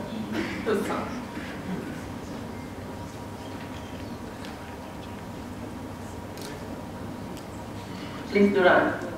Thank you, Madam Chair. I will just respond to those which were uh, related to, mine. firstly there was a question on implication of implication of NCTFs in trade facilitation issues as far as the AUC is concerned. Definitely, I want to share with you that uh, as far as I am concerned, I'm from the Customs Cooperation Division. We report to the Subcommittee of Directors General of Customs. So in all our activities, we definitely invite uh, the, the DGs, the Directors Generals for Customs for uh, every member states. But then where are, there are issues uh, beyond customs uh, concerning trade facilitation. We also involve the, experts from, for instance, trade ministries. Uh, uh, just to give you an example, when we had the, the workshop on uh, promoting the ratification of the TFA in Abidjan, we had not only invited customs, but we had also invited uh, ministries of trade because actually at the national level it is the ministries of trade who spearhead the, the issue of ratification of the TFA. But then also, um, in terms of the RECs, how do we coordinate with the RECs? We have a specific uh, committee which we call the AUC uh, RECs uh, Coordination Committee meet meeting, which we uh, hold uh, annually. This is where we share programs, uh, activities, and objectives with the RECs so that we know that we are all in harmony and there is no duplication. Actually, we bring synergy in what we are doing so that whatever the RECs are doing is contributed contributing to the objectives at continental level. So we definitely involve the, the RECs in everything that we do. And like I said, in terms of the NCTFs, actually when we had, uh, uh, we had a validation workshop for the AU trade facilitation strategy, and definitely we had the issue that we invite members of the NCTFs at national level so that they can come and also give us their views on the AU trade facilitation strategy. Uh, there was a question on infrastructure. Definitely, infrastructure requires a, a lot of mobilization of, of resources. Uh, of course, I'm not from the infrastructure department who have more information into infrastructure issues, but uh, just wanted to share with you that there's a specific program uh, at the level of infrastructure which we call PIDA program. This is an infrastructure development program. More information can be available in the website uh, in terms of the program.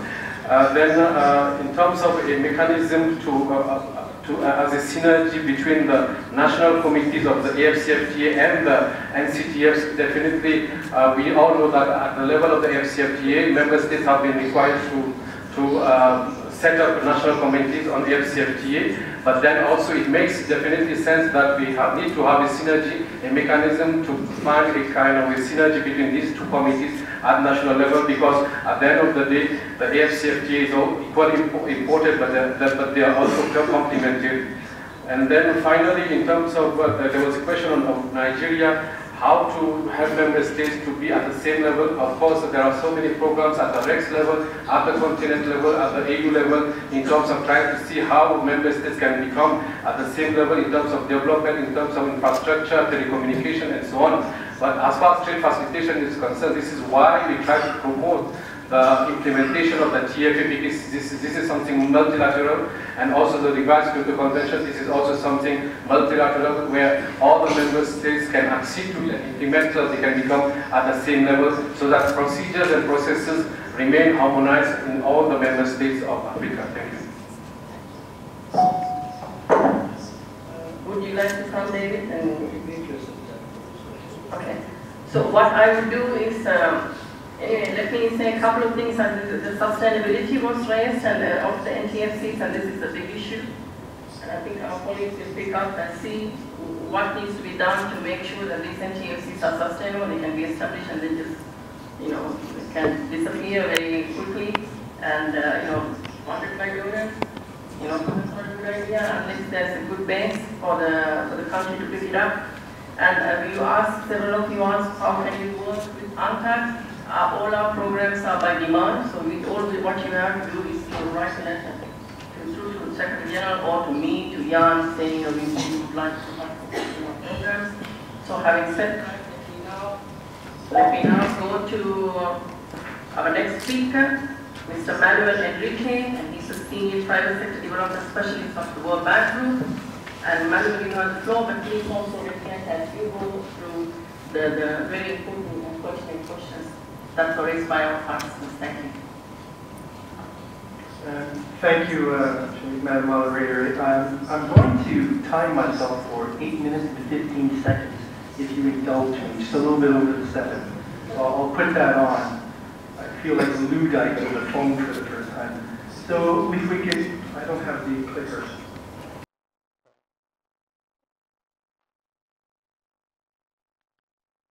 So I just wanted to start by saying the World Bank, uh, in a nutshell, twin goals to eradicate extreme poverty and to support the bottom 40%, so an equalization.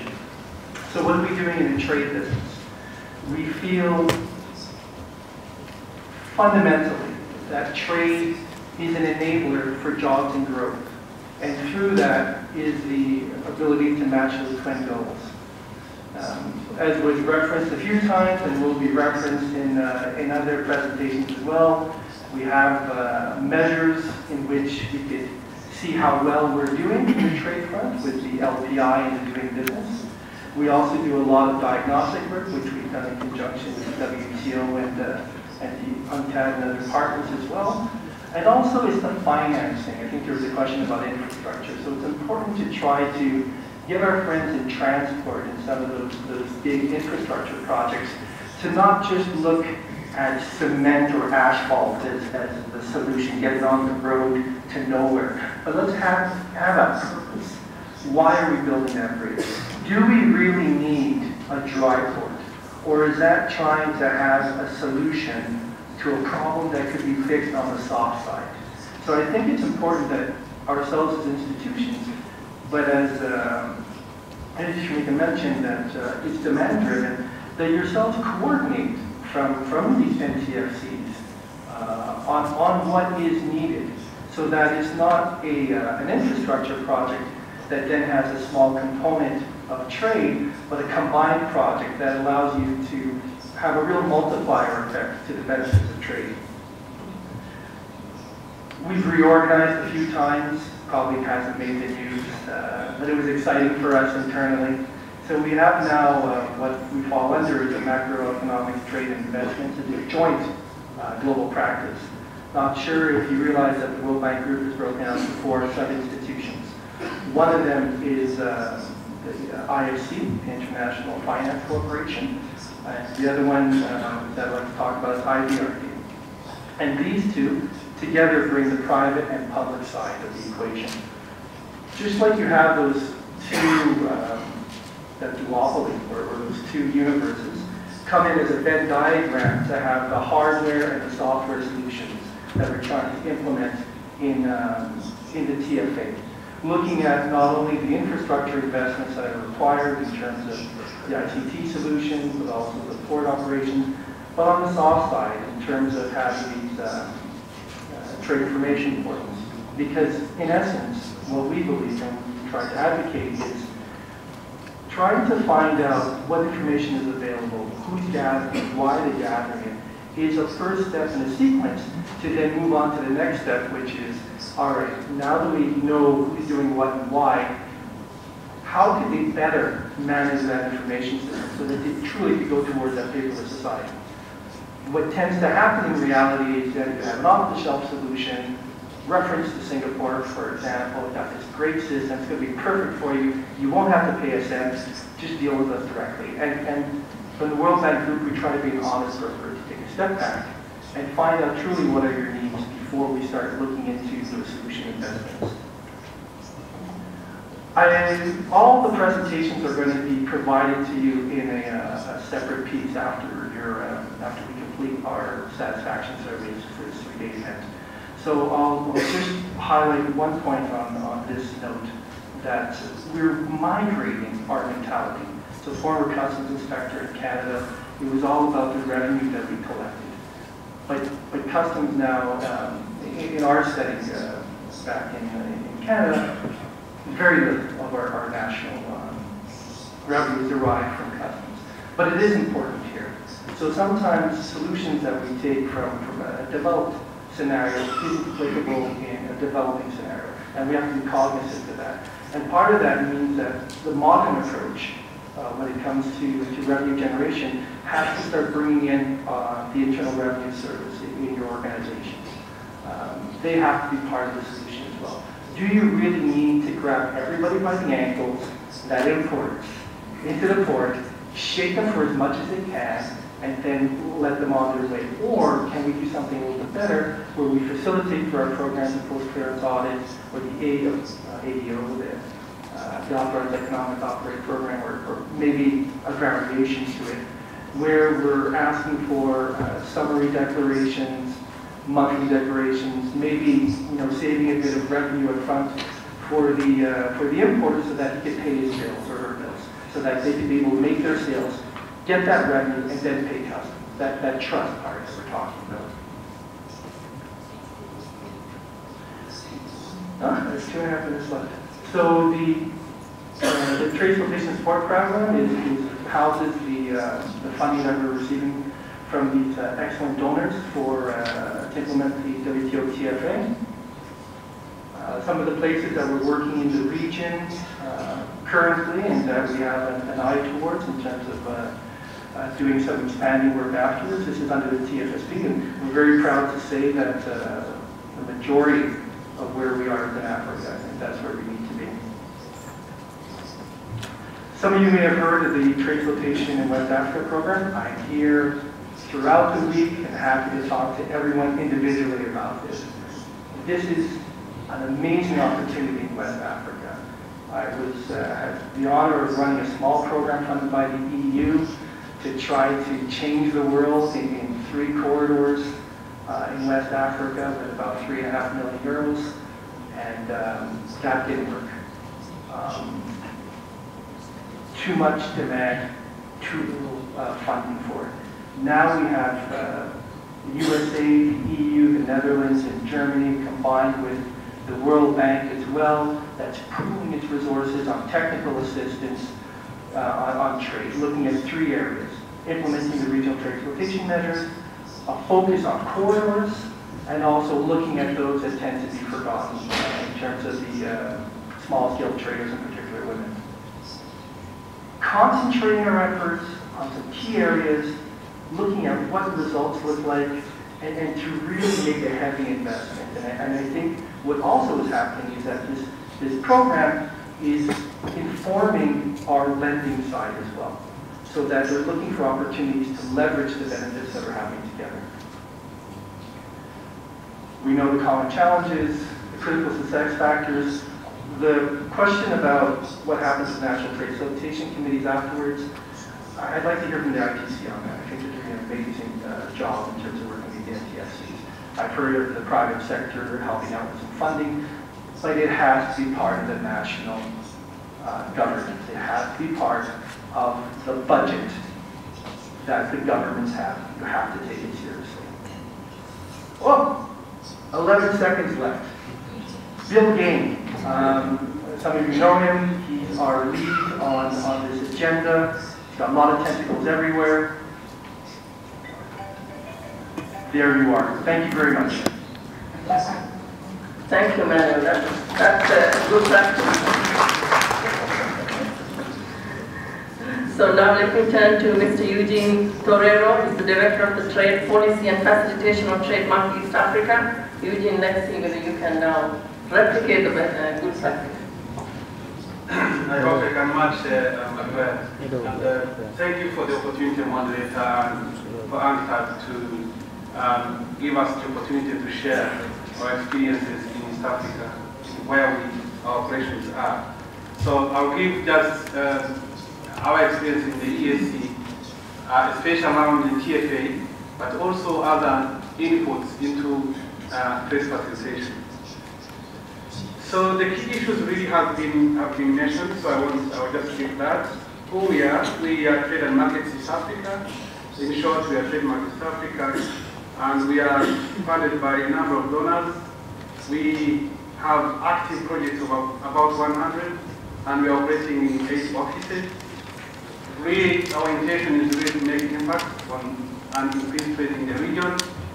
And we see some of the challenges in the region as being uh, delays in cargo clearance, issues of, that, that create uh, uh, impact on, on the cost of doing business, and essentially, trade becomes very unpredictable. So this intervention we are, we are working on is really to try and see how we can uh, uh, help East Africans uh, reduce or improve uh, uh, the trade environment. So our response therefore has been investment in infrastructure projects on ports, soft innovations around automation of customs services. I see some of our implementing partners around. They'll probably give some explanations later. More details, uh, sorry. Trying to harness the power of technology, working with uh, established uh, um, uh, systems with UNCTAD, for instance, ASYCUDA, single windows, and all that. But in our activities, we do engage with the private sector to ensure that they own the whole process. Um, this is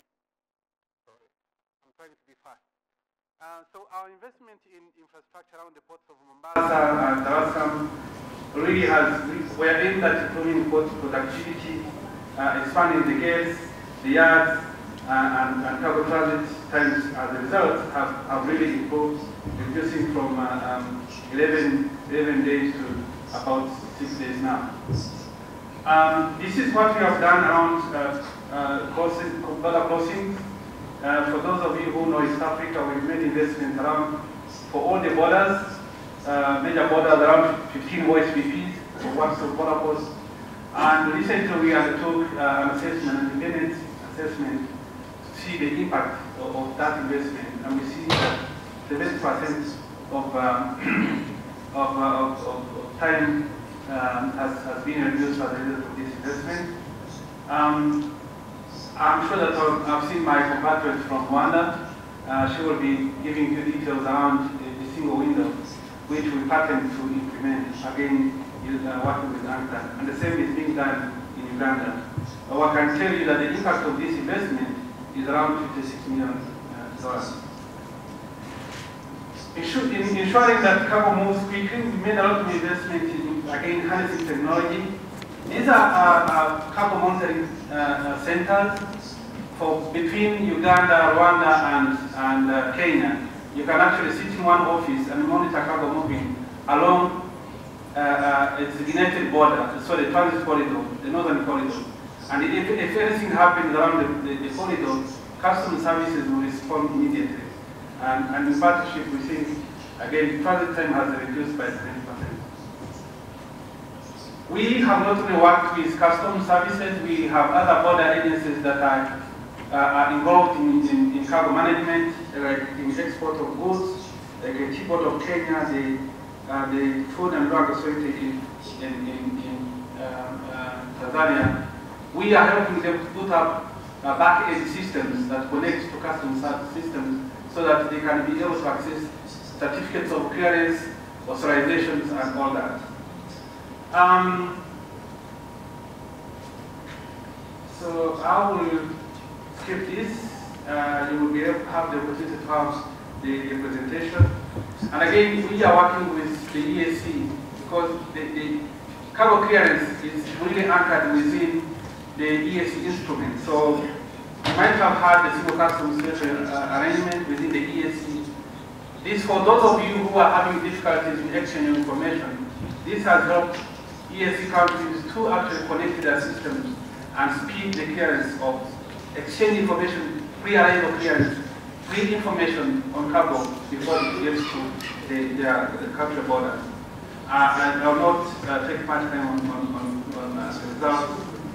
Um, this is again uh, picked from the doing business reports. Again, as a result of our investment, we think that uh, improvements in the doing business within the region have happened. Again, you can see that with uh, on the on the cost of, of importing and exporting a container, which is also reflected in the, the various reports of the, the World Bank. Um, the logistics uh, performance indicator again gives a reflection on the kind of improvement happening within the region. Um, so what have we learned as a result of this? And I want to use the, uh, before I, I, I, get to this one, I want to respond to an issue that was raised around the NTFC's sustainability. What we've done with the EAC, and again in partnership with UNCTAD, the EAC countries when use a legal framework to establish the NTFC so that they are a legal entity, and when they become a legal entity, the Treasury can actually source, resource uh, the NTFC. It becomes part of the institutional framework for the, for the Minister of Trade. So that when a budget is being read, because it is established by law, there is no way that the Minister of Trade, sorry, uh, of, of Treasury, the Treasury Department, can refuse to resource a legally established agency. So it's worth looking at it. If it's a, a sort of uh, a temporary establishment, it's very easy to be forgotten. So it's worth looking at having it established as a, as a, as a legal entity. Um, within the EAC, as I said, we've been working together to see that uh, the, the, the customs services, the single customs, customs services makes trade simplified so that customs officers working at the borders understand it and are able to apply it. Um, I, I, won't say much on the TFA, um, I think my colleagues from ACTES will make a presentation around that. But I think we've, we've done so much quick around uh, the trade bottles, uh, which have been launched in three countries, Tanzania, Uganda, uh, Uganda, Kenya, and most sooner, possibly with, with Tanzania. Um, we've also worked around thinking regionally and, and, and, acting nationally so that since the, the legal framework is, is regionally determined, then we have used that approach to implement uh, those uh, uh, regional initiatives, starting with the regional level and rolling it, rolling it down to, to uh, the national level. And the case in point is the, is the uh, single customs territory. Again, we've also sort of, you can have hard infrastructure, you can also do soft infrastructure, but the two, there has to be a balance because you cannot achieve the impact without having a balance between uh um, regional and, sorry, um, hard and soft. Again, private sector is, is key to, uh, to you need to engage the, the private sector in making this happen. Again, partnerships is very critical. I mentioned a lot of engagement in UNCTAD. We also work with the, the, the, World Bank. We always exchange information. Uh, we are currently working with IOM, ITC, and again to ensure that there is no duplication. This is my last slide. Um, so we think there is need to deepen uh, this agenda, and we, we believe that uh, technology is going to be the key. As a result of that, we are looking at building our regional initiatives that been successful around uh, uh, um, borders and so that we can eliminate the hard infrastructure. We are looking at uh, having digital corridors so that we can allow goods to be tracked along uh, transit corridors and we hope by that we can expand to other countries. Thank you.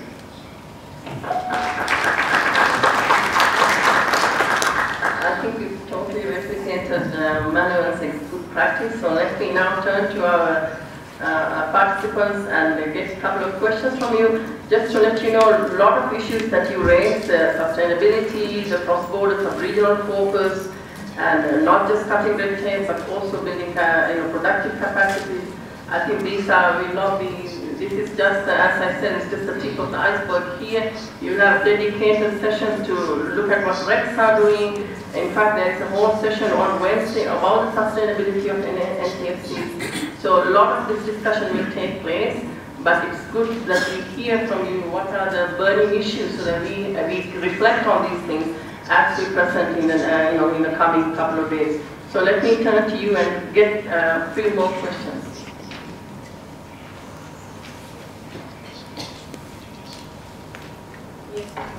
Please go ahead and uh, identify yourself. Thank you. Um, my name is Lucas Barajo, uh, the delegation from Botswana. Um, my question is, um, how is the, the organization uh, going to help the, the African countries to try and um, come up with uh, uh, probably a, a simplified or harmonized um, systems that can talk to, together so that we, the, we can um, have um, you, know, you know, customs systems talking to each other without um, you know, maximization of costs. Um, because currently we see that um, you know, every country are busy trying to develop the, e-clearances uh, e and e-trade facilitation as individual countries. But then um, systems are failing to talk to each other, you know, so that when they, is a movement of cargo, then at least they can easily upload the information to facilitate the movement of, uh, of goods, especially cross-border um, services. Thank you. Thank you very much for, for raising this important question and I hear that cross-border elements are emerging as fundamental to get the red tape uh, cut and also to do the intra-regional trade. So this is a theme that's coming through. Any other queries and comments and questions to the panel? Yes, please. Could you please recognize yourself because I can't see the slide. Comoros, yes, please go ahead.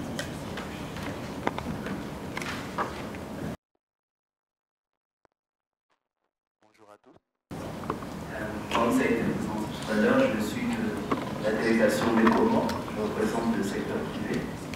Euh, moi, c'est surtout un point de vue que je souhaiterais partager par rapport au thème qui est ici, effort et futur de la facilitation des échanges en Afrique. Donc les Comores, euh, comme euh, on le sait tous, se trouvent dans l'océan Indien, donc c'est un archipel entouré de, de mer, et il y a beaucoup de, transferts qui se, qui se réalisent. Mais comme ça a été présenté ici, il y a beaucoup de retard de détoiement. Et on a beaucoup de pays voisins euh, qu'on pourrait travailler ensemble et qui ne se fait pas encore. Donc, euh, mon point de vue est d'abord cela, de pouvoir collaborer. Ça pourrait faciliter les échanges au niveau de la région et euh, améliorer beaucoup le, disons, l'importation, l'exportation des, biens.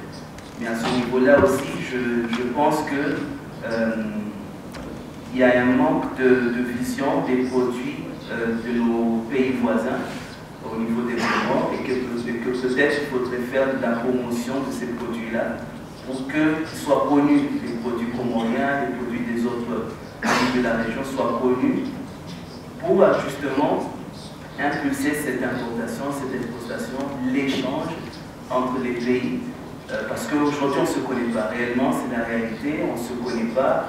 Les Comoriens préfèrent aller dans des pays très lointains, en Chine, en Europe, pour aller acheter des produits, plutôt que des produits au niveau euh, voisin. Et là, peut-être qu'il faudra, il faudra aussi miser sur la qualité de nos produits que, que nous produisons, pour qu'il y ait encore cette confiance à, pouvoir échanger nos, produits.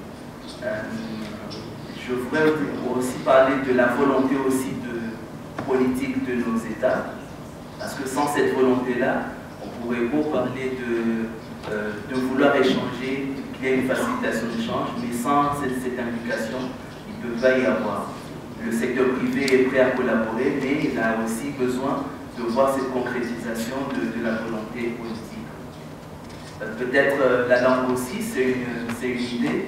Aujourd'hui, on parle comorien, on parle, il y a beaucoup de langues en Afrique, peut-être on pourrait aussi parler d'une langue ou deux trois langues communes en Afrique pour qu'il y ait cet échange.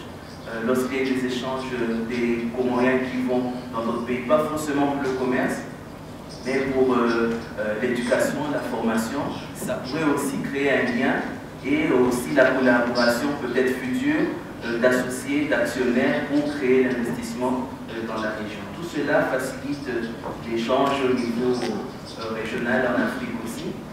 Et donc pour les comités euh, nationaux, euh, il faudrait qu'il y ait peut-être une plateforme d'échange, euh, de savoir quelles sont les bonnes pratiques, de savoir comment ça évolue de, l'autre côté. Ça peut aussi donner des idées dans, comité, un comité national, à aussi réagir au niveau local. Et tout cela, voilà, c'est cela dont je voulais échanger ici et peut-être réfléchir ensemble sur cela parce que les comités aussi nationaux, ça a été présenté ici sur la question du budget. C'est vrai, on a besoin de financement pour réaliser cela, mais ça viendra intérieurement. Et peut-être les présentations qui été exposées, ça serait bien qu'on qu les fasse faire partager aussi, pour qu'aussi on ait aussi des idées. Voilà, je vous remercie, Madame la Présidente. Thank you very much. And I have a series of questions here. I think it might, we might be kicked out of this room. So let me uh, talk, get to Mauritius, this is the next flag. Also like Comoros, you're also surrounded by the sea, so let's hear from Mauritius and then we'll get a couple of questions And please uh, let me, uh, I mean, please let, let me emphasize because this is good that we have this discussion, but this is what you're going to, these big issues that coming up are the ones that we're going to discuss throughout the three days. Yeah, please, Mauritius, go ahead.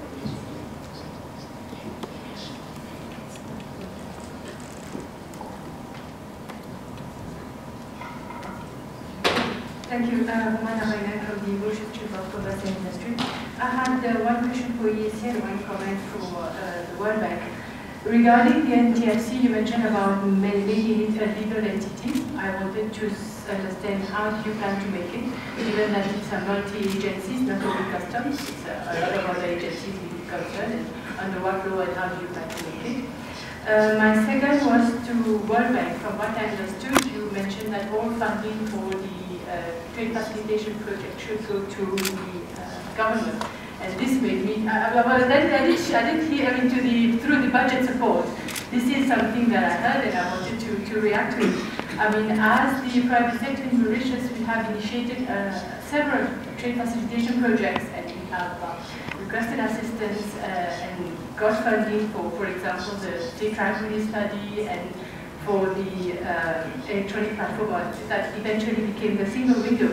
So I'm not too sure if I understood you right when you mentioned that all support should go to, to government only, because I think private sector do have a critical role in in uh, uh, trade facilitation as well and should be eligible for, for projects that are that are of course credible and are maybe facilitated through the NTFC, but should be eligible for, for projects as well, project funding. Thank you. Thank you so much, uh, Mauritius. It's good to hear from the private sector from Comoros and also from the Chamber of Commerce. And I know Manuel wants to come in, but very briefly to do some fact checking.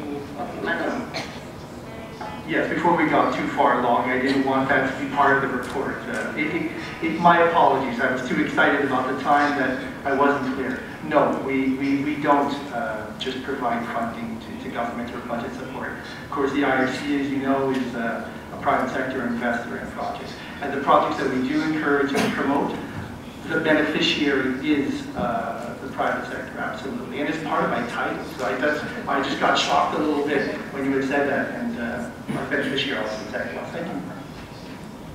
Thank you, Manuel. So I have two questions, and then let me close because we have also like to hear from our uh, uh, panelists uh, quickly. And uh, I cannot see your flag. Could you please identify yourself? Thank you so much. I'm James Kisale from Uganda Customs. I just wanted to underscore the role of coordination among the donor community uh, in order to uh, enhance trade facilitation within our countries. And to this end, I want to thank Trademark East Africa that has been at the forefront uh, of uh, facilitating trade in the East African region. Uh, our observation has been that uh, when you have um, a focal implementing agents like a Trademark East Africa that uh, obtain support from different donors, and then they are able to come and uh, provide this support directly with the customs administrations and other government agencies within the region. We have seen effectiveness in implementation of these projects. Because sometimes the challenges we note is that whereas donors are willing to support us, but they take too long because of bureaucracies within the donor communities themselves. Now that has been uh, different engaging with Trademark East Africa in terms of the way they are able to quickly understand what the challenges are from the customs administrations and other government agencies and making sure that they work together uh, to uh, deal with the projects that need to support trade. As a result of that, the statistics that we are seeing uh, presented by Trademark East Africa is indeed very true uh, within uh, the region of East Africa community. Thank you. Thank you very much for uh, raising that very, very important question of donor coordination. And, and partly that's why we have gathered together, that's why we have forged a partnership of all the key players doing trade facilitation. So hopefully among ourselves we will be a bit more coordinated than you know coming and bothering countries on a daily basis of doing reporting, capacity building lessons, the workshops and so forth. That's a very, very important uh, point. I hope that this will be taken forward as you discuss for the next few days what needs to be done to get the trade facilitation going in the region. So I have DRC, so please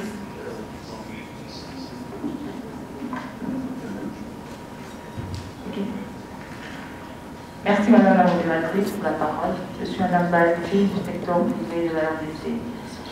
Euh, J'avais revenir encore sur le programme d'appui à la facilitation des échanges que la Banque mondiale a présenté récemment.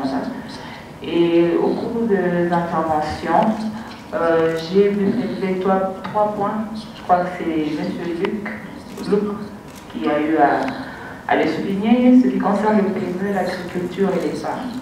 Et dans notre contexte, euh, une enquête a été menée en interne. Vous allez savoir que les femmes sont celles qui sont plus dans l'informel, mais qui détiennent plus euh, euh, le, quota côté agriculture. Voilà. Ce sont les femmes qui, qui sont plus dans l'agriculture et qui sont malheureusement beaucoup dans l'informel. Donc le travail que nous nous faisons en tant qu'organisation, c'est plus de les former, les formaliser, essayer encore de les soutenir afin que leur productivité qui est dans d'emblée euh, de subsistance euh, autour d'elles-mêmes puisse être de produits à exporter aussi. Alors je reviens à certaines préoccupations parce que euh, côté financement aussi, le secteur privé, je crois qu'il y a des fonds qui ont été alloués à cela. J'aimerais que vous teniez compte de ce contexte-là aussi car il y a besoin en termes de normes internationales, de besoin euh, de bonnes pratiques de production. Il y a réellement un besoin essentiel pour former ces catégories de, personnes. Nous nous appelons aussi sur certains jeunes qui essaient de créer des PME, mais les financements en posent problème.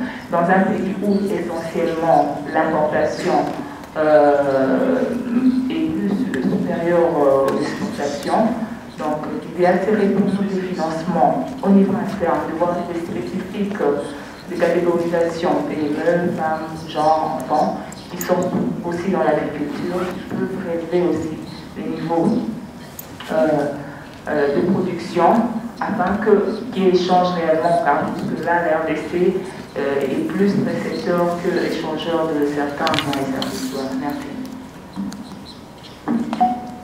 Thank you very much. And I have Côte d'Ivoire. Yes, please, Côte d'Ivoire. You have the floor. Ok. Merci beaucoup, Madame la modératrice. Euh, je suis David Kouassi du ministère du Commerce de la Côte d'Ivoire. Euh, J'ai noté avec euh, beaucoup d'intérêt l'intervention de, de Trademark East Africa et j'ai constaté que c'est seulement que dans l'Afrique de l'Est que ces activités sont menées. Vous envisagez euh, actions en Afrique de l'Ouest et surtout, si oui, sur quoi vont porter vos activités Merci. Thank you very much. And there is, I think I can I cannot see you. It's Rwanda. Yes, please go ahead. Uh, thank you, Chair. Uh, we want also to join uh, the voice of uh, Uganda to thank very much Trademark East Africa for uh, the support that they have given to EAC countries, specifically Rwanda. So we have seen a very great improvement in terms of time reduction, but also the cost, and specifically the improvement along the corridors uh, through uh, different interventions such as uh, OSBPs, the single customs territory, and so on. my question would be a simple one to Manuel from the World Bank Group, trade across Africa. But um, unfortunately, some of the countries listed are not in East Africa. So I was wondering um, what is the base that you or the, to choose countries? Is it really a demand-driven approach, or um, is it uh, according to the priorities that you have as a the World Bank Group? Uh, you said that you, the interventions are uh, through IFCs and the other organization that I do not remember. Uh, but uh, I could see that you are working also with the corridors authorities. How do you do that? Is it through different government agencies or uh, is it just through the two uh, authorities that you mentioned? Thank you. Thank you very much. Let me now get back to the, our, our distinguished panelists. Eugene, would you like to start? Yeah, thank you. Thank you, moderator. And um, um, I think I have about two questions to respond to. Uh, the other way are very good complementary uh, statements, which we appreciate and we wish to do more if we can. Um, for the, the, question, the query that came from Mauritius, the delegate from Mauritius, um, um, on, on the legalities, I think what we've seen um, in EAC, most of the NTFCs are, uh, are housed within the Ministries of Trade and Industry. And because of that, if it is not a permanent or within, if it is not a function, it's not appearing in the functions of the Ministries of Trade, and uh, as that uh, responsible for coordinating uh, uh, trade facilitation activities, then it is not uh, recognized. It can be uh, working in another manner, like a, a, a, committee which can always be Uh, stopped when the project ends. So what we have seen in dealing with uh, EAC partners is they recognize that the, the or a body that is responsible for that, for that matter, becomes a legal entity that is recognized by, by government. And as such, staff are appointed. In terms of resourcing, they keep them with staff and also budgets on an annual basis. In some other jurisdictions, it may be that, that the trade facilitation uh, uh, uh, agenda is driven by the private sector in which case, again, the private sector setup would be necessary to fast track or to take leadership of implementing the agenda. If you ask me, it would be very good to have private sector having the right capacity and way of committing resources to drive the facilitation agenda. But I think it depends on, on, on, on, on, on where you are coming from, whether it is country X or, or where the private sector is capable. So I, I don't think I have a clear answer on that. I think I, I understand that we have some discussions around that. We'll probably explore more details. Uh, when it comes to the selection of countries, it's, it's not a beauty contest. There's, there's not a special sauce that happens in back rooms. It's all about a dialogue with the countries. Um, every country that we work with, we have a, uh, country partnership framework. And from there is, is where we get the engagement from the government and, and those people that advise them in terms of the private sector and their needs as to how we have our relationship. The quick responses that we do on a trade facilitation, they mainly come out of the trade facilitation support program. Um, but there, there is sort of a, an overarching strategy that the, the, bank has in terms of the amount of the investments that will be in, in, in regions. And so that's how those things tend to play out. I think the, um, there's a capacity issue as well. There's a quality issue. There's a reputational issue. If we spread ourselves out too thin, then, then the quality of the service that we provide could be questionable. We want everyone to get the best that we can give. And I think that's important as well to remember that uh, this is a big business. Um, I've, I've been at it, I'm old now, but I've been at it since I was 18. And, and it just grows. It's one of the oldest you know, professions out there, but the, there's a lot of people that are doing a lot of good things, but there's also some that, that are shortchanging our beneficiaries. We want to make sure that we're never associated with that. And I think it's important in terms of trademark, um, and ECOWAS could discuss that in an intervention perhaps this afternoon or another opportunity. Um, the model getting uh, an organization to sort of be that coordinator for all that technical this way. But hopefully, what's important is that we continue, we continue that momentum. Thank you, Manuel. David, you did not have the chance, and I get you to have the last one. Please.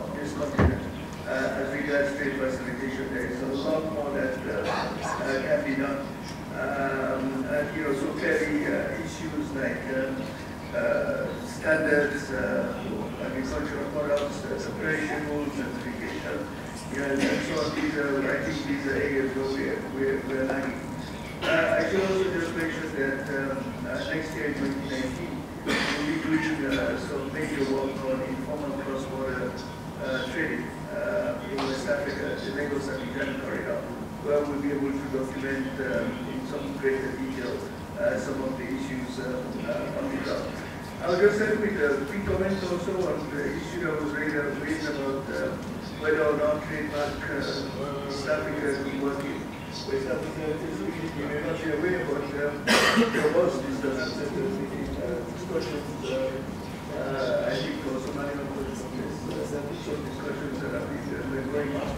And the uh, colleague from Botswana highlighted that part of that discussion has been to look at the possibility of a project that would embrace um, Ghana, and in the I from what was said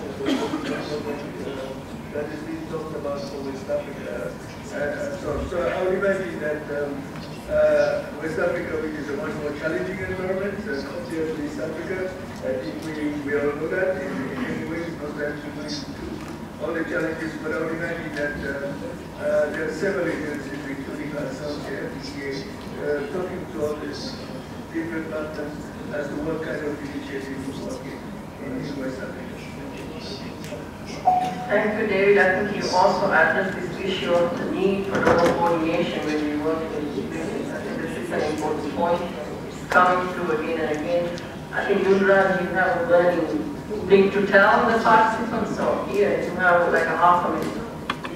Thank you, Madam Chair. I just wanted to respond partly to Comoros and Botswana. Um, Comoros uh, raised the issue of availability of trade information. So uh, my, my uh, suggestion for Comoros would be to learn from maybe from uh, Seychelles and Mauritius who have already developed trade information portals. So it would be important for Comoros to develop some, something similar to make available the trade-related information as far as uh, Comoros is concerned. Coming to Botswana, Chair, I wanted to share with Botswana that already we are having in place uh, in, in, the region, for instance, at SACU level, there's already uh, some initiatives uh, to, to deal with interconnectivity of customs information system. SACU has done a lot on the interconnectivity of customs information system between the member states, for instance, between Swaziland and South Africa, and so on and so forth. But then also we have, uh, under ECOWAS also there are some projects in terms of interconnectivity. What we are trying to do at the African Union level, we are trying to leverage on those initiatives already to try to uh, make sure that the, uh, the customs information system can interconnect to each other and then there could be data exchange to allow. Thank you. Thank you very much. So it's one o'clock. We have come to the end of our session, and I think we began. I think we of you raised very very important issues. I heard the sustainability issues, the need for cross-border focus, the donor coordination, and the building productive capacities, especially getting the private sector as the main focus of all these endeavors, and the SMEs in particular. And uh, so please take this up as you go forward into the, uh, you know, this afternoon and next two days. And also perhaps one of the things that coming through again and again is how do countries reach out to international agencies and development partners. So please also keep that in mind as you uh, make your presentations. So let me uh, uh, give a very big hand to our panelists and, and let me apologize to all of you for rushing you through this presentation and questions. I think this is the price we pay for big partnerships and big openings and the session after, between the big opening and the lunch is always very such. So a big hand to all of you.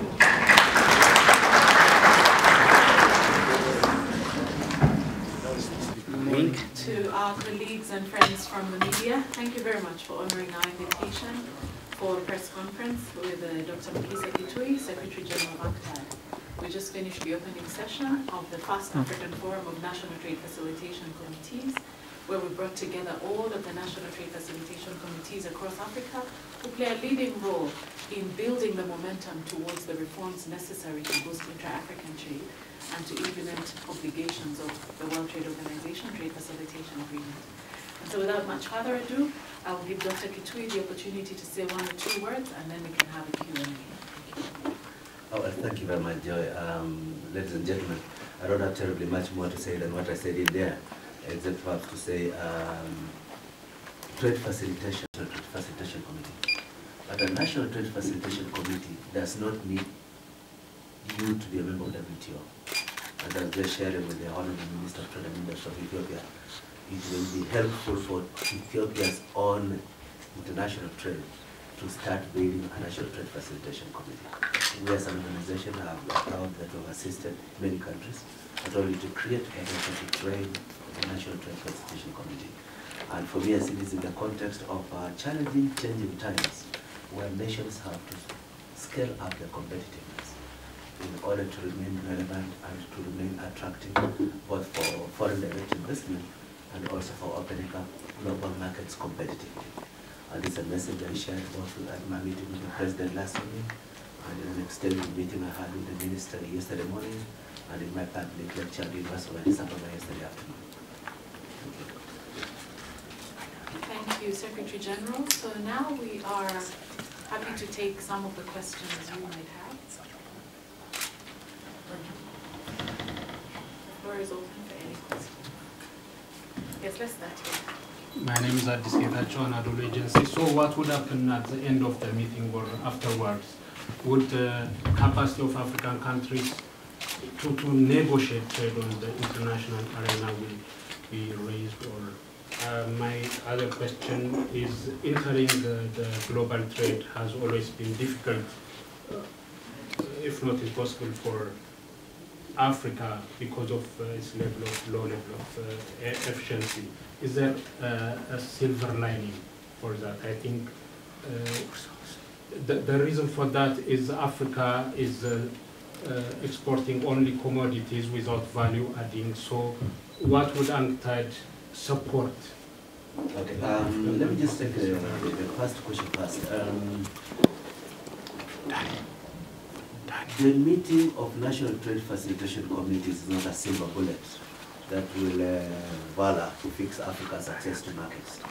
It's an opportunity to encourage each other and to grow collective awareness that making the movement of goods in your countries cheaper and faster and simplifies the, the, the, procedures of moving goods across boundaries and cooperation between customs officers and merchants are all important contributions to making your imports and your exports efficient and competitive. The largest benefit of many Africans in large manufacturing like Ethiopia is that the cost of labor is low. But if the cost of logistics is very high, the benefits of low-cost labor is wiped out by the added cost of moving raw materials in and finished products out. So we're saying, see the balance between your competitiveness in production and your competitiveness in the logic and logistics and transport of products as important for balanced access to markets. The second part you're saying about uh, Africa not trading with the world. Africa trades with the world. Ethiopia trades with the world. You have been very, very steadily expanding your light manufacturing capacities, your horticulture productions. Uh, I used to be trade minister of Kenya. And those days there was no roses from Ethiopia. Kenya boasted it controlled 35 to 40 percent of the rose market uh, the auction in Amsterdam. Today, there's Ethiopia everywhere. That's evidence of a growing engagement. And so uh, the truth that the world trade is facing many challenges means that we have to cut down on our cost of production, but not starvation wages. Cutting down can be by reducing the cost of transaction, of moving goods. If you manage to reduce by one-third the time it takes to move goods through the Djibouti, the time and cost of moving goods to the port, and the simplification of procedures at the border points. That is as important as keeping wages competitive. So this is the important balance that we are saying is important and it's message shared. A critical component of the meeting today, this week, is uh, sharing experiences. How are the best practices? Who has done it better? Is it possible for us also to do better? Those who have not yet created national trade uh, facilitation committees, what will it take? Where will we get the support to train the people involved in order to be competitive? You should not link it automatically to joining WTO. That is a wrong uh, debate. It's about looking inwards. How can we make ourselves efficient? It's not good enough to say we're efficient because, um, because of our labor is low eventually your wages will have to rise. As you become more integrated in global trade, the working class will start demanding higher benefits, but it should not be the end of the road. If you improve your efficiencies, you can remain competitive while wages are rising. So I think that is the message that we're trying to bring out here. Thank you, Secretary General. Any other questions? Please let us know the media house you're from. Introduce yourself and let us know your media house. Yes, the gentleman at the back. Thank you. My name is Theodros Tasama. I'm from FM 97.1. Um, how is Africa viewed in the trade facilitation process? Uh, uh, can we say that Africa is being excellent and what are its track records and what are the challenges uh, that it's facing? And secondly, uh, with, with the specifics, uh, I would like you to shed light on achievement of how is East Africa especially viewed with regard to this. All right. Um, first of all, out of 55 countries, only 40 African countries have created national trade facilitation committees. So one of the messages here is that when others are now dialoguing about how to improve the quality of the national trade facilitation committees, those who don't have national trade facilitation committees should say, how quickly can we move to establish national trade facilitation committees? How well they have done is the discourse for the next one week, as each country presents its experiences and shares with the others what are the hurdles and how to improve and do better. So there's a varied way in which the National Trade Facilitation Committees have been formed, have strengthened, and can go forward. In some countries, there's still paralysis, competition between customs officers and trade officers about who should lead the committees. In many ways, I think this takes away from a lot of the necessary synergies that should go in cooperation between customs officers, trade officers, and the border users, I mean the, the, the trading community, the ultimate users of our trade facilitation services. Um, your second question was, uh, how is East Africa doing? Okay, I mean the number of things, you know, on one level we, I'm an East African like you, and Eastern Africa, okay, is a bit more upbeat than the rest of Africa. In fact, the, the projections of uh, growth says Eastern Africa, which includes Ethiopia, East African countries, is likely to be substantially above Caribbean, Latin America, West Africa, North Africa, Central Southern Africa in economic outturn over the next few years. But you know, there is no pride in being a giant among dwarfs. Those legends uh, will remain uh, dwarfs in many ways. And importantly, one of the key challenges for Eastern Africa how do we fast track integration in this region as a building block towards an integrated Africa. Even as we lead politically the drive for greater opening up, you can see the first three countries to waive free travel visas for Africans in the world are Rwanda, Kenya, and Ethiopia. So these are steps ahead of others. But I think it's important also to start addressing issues of how can we dramatically increase trade between these countries based on, based on the experience of others. I mean, Uganda is the most important trading partner for Kenya in the world. Uh, more than Germany, more than China, more than the UK, Uganda is the most important trading partner of Kenya. And the potential that uh, for fathers anticipated about Ethiopia and Kenya remains a challenge to unlock what is it that we'll do to unlock. Today, as I know, Ethiopia can export anything to us to take to Kenya. The challenge is that it's not going to grow if Kenyans cannot export to Ethiopia. And Kenyans cannot export to Ethiopia because they have to go to the central bank to apply for permission to take their profits out of Ethiopia. And in Kenya, the, the government does not come in. Bring in your goods, sell, take your profits out. So how do you harmonize this uh, exchange control vis-a-vis your neighbors as a learning experience as you manage the process of opening up and integrating regional economies? These are some of the issues that political leaders have to make with sound advice from policy leaders. Thank you, SG. Any other questions? Yes, the gentleman over there. Okay, thank you very much. I'm Andwala Maharat from Nation Media Group from Ethiopia. Uh, the, on the issue that you raised about the trade between Kenya and Ethiopia, as you know, we have invested a lot on the infrastructure, the road and all those things. But still the trade between the two countries is not as it's supposed to be. So can you mention the key uh, points that can boost this trade? Uh, like you mentioned the one, that the national bank issue, and other issues that you... Actually, that's by far the most important issue. Uh, I think it's the issue why Ethiopia has not become a member of the free trade area of COMESA. That unless, unless people who sell things to Ethiopia can get their money out, the only investors who will come to Ethiopia are those who are manufacturing something in Ethiopia for export market. And then therefore they don't go to government for money, they make their money abroad where they have sold their products. But for regional integration, there has to be liberalizing in between the members the movement of goods and services, which also means the repatriation of profits to the neighboring countries. And I think that is uh, that remains the, the, the, key challenge in unlocking the potential of uh, trade between Nairobi and Addis. And I definitely was one of those who celebrated when they completed uh, world-class road between Addis and Nairobi. Uh, now, we, if you go on it, you'll find a lot of goats and camels basking in the sun. Now we have to replace them with moving cargo between our two countries. And some of those challenges have to be addressed.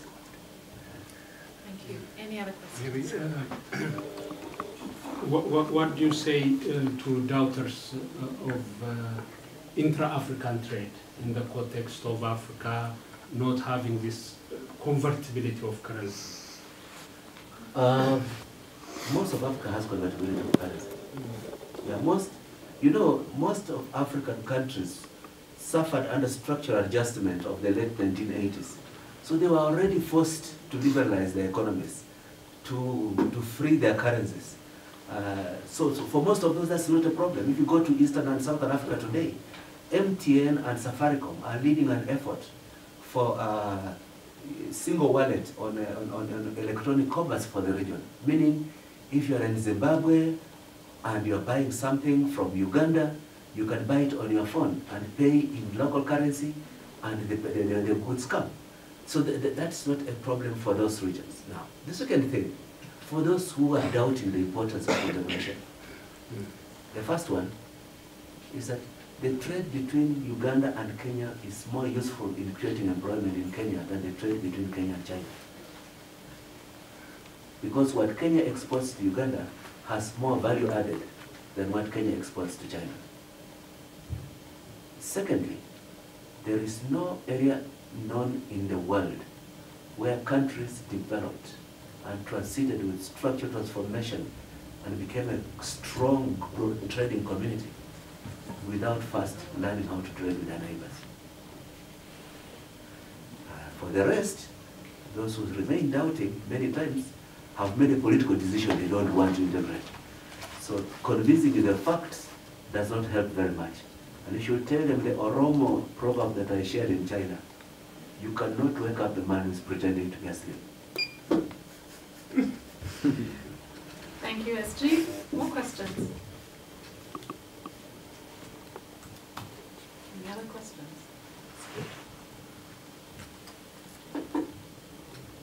Well, thank you very, very much uh, for your patience, and thank you very much for your questions.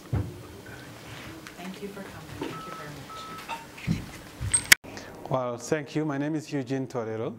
I work with Trademark East Africa, and I lead the trade facilitation efforts of Trademark East Africa in the East African uh, uh, region.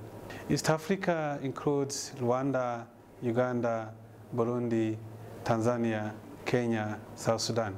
Other than uh, South Sudan, the rest of the EAC members are members of the, uh, the trade, the WTO. We actually supported them to uh, set up the National Trade Facilitation Committees. That's because they are not yet members of the, of the uh, WTO, Right. but they can always set up any body that makes trade happen within their country. It doesn't mean that they are not, even though they are not members of the WTO, they cannot set up uh, such a body. Some of the challenges really that were actually alluded to earlier in this um, uh, the opening at the opening session was is really infrastructure. Does a country have the right infrastructure to allow cargo to move from one point to another- point? Does a, does a country have the right legal uh, uh, uh, regulations to actually allow uh, uh, adopting new initiatives that could actually facilitate movement of goods across border. In this case, I mean, does the law allow use of technology to move to, to facilitate cargo uh, clearance of goods uh, uh, through customs services, for instance? Does the country have the legal uh, uh, infrastructure to, to use some kind of technology to track movement of goods from one point to the other. So those are some of the, the, the challenges that are in place. But there are also still other bureaucratic delays associated with uh, cargo clearance. In this case, uh, load blocks are still there, so many stops are still there, but they are trying to address that by removing them and by harnessing the power of technology to track movement of goods along corridors. And we have seen uh, that really having an impact, especially within the East African community, where uh, uh, uh, countries have come together and agreed to interconnect their systems, exchange information, uh, uh, track goods along corridors, and has really reduced, cut down the, the time and cost to move cargo along corridors by 70%. So that is remarkable achievement. For instance, uh, cargo from uh, uh, the port of Mombasa to uh, Kampala used to take around 18 days. Now it's taking between four and six days. That's remarkable achievement. Yes. It's because of what they have embraced. We've also supported them to improve the infrastructure at the border, at some of the their borders, brought together customs services and other border agencies within one country to work together, but also between countries, so that customs officers in Uganda can sit on the side of Kenya and work with Kenyan officials. So, but for that to happen, we automated, connected, uh, connected uh, uh, customs systems between Uganda and, and, and, and Kenya. And so they are talking to each other, systems are talking to each other, and allow exchange of information. So much gain, so much gain in terms of cutting down. We need to cut the number of days, the cost it takes to trade between our neighbors to even more race. Um, the estimate by uh, um, uh, OECD and the WTO is if we actually implemented uh, all trade facilitation measures, we could cut down our cost by 14 point, uh, uh, 14% of the existing cost. So the, the, the, the net effect of that is if costs to trade are reduced, as a consumer, as a buyer of goods, I would expect that the price of goods will also come down. So instead of digging deeper in my pocket, I'll actually spend less and I can invest that. If I was not taking my child to school, then I'll be able to take my child to school, a better school of, of, of that kind. If I was a trader and I was trading through panya routes, I will now formalize and contribute to national building include, include increase gov government revenue. So there are so much uh, uh, uh, implications of facilitating cross-border trade or trade or implementing trade facilitation measures. I, I, think this is a very, very good opportunity for colleagues from different parts of, of Africa to come together and share experience, learn from each other. Stop believing that it cannot be attained. There are, there are some measures that we can implement without actually requiring donor support. You can change your laws. It doesn't require a significant amount of investment to change your laws. You can uh, uh, improve uh, certain cargo clearance approaches by uh, uh, uh, taking further steps without you requiring an investment from someone else. So it's an opportunity for um, colleagues from the region, from Africa, to come together, learn from experiences of where they can, they have uh, uh, uh, good practices have been implemented, and they can just take home that and replicate. The other thing is you can actually meet donors, share your, your views, share your challenges, and who knows, you might actually get an opportunity to get funding. So I really, I'm very impressed with the organization, with the turn-up, massive turn-up, that interestingly that some of, of, of, delegations are led by ministers.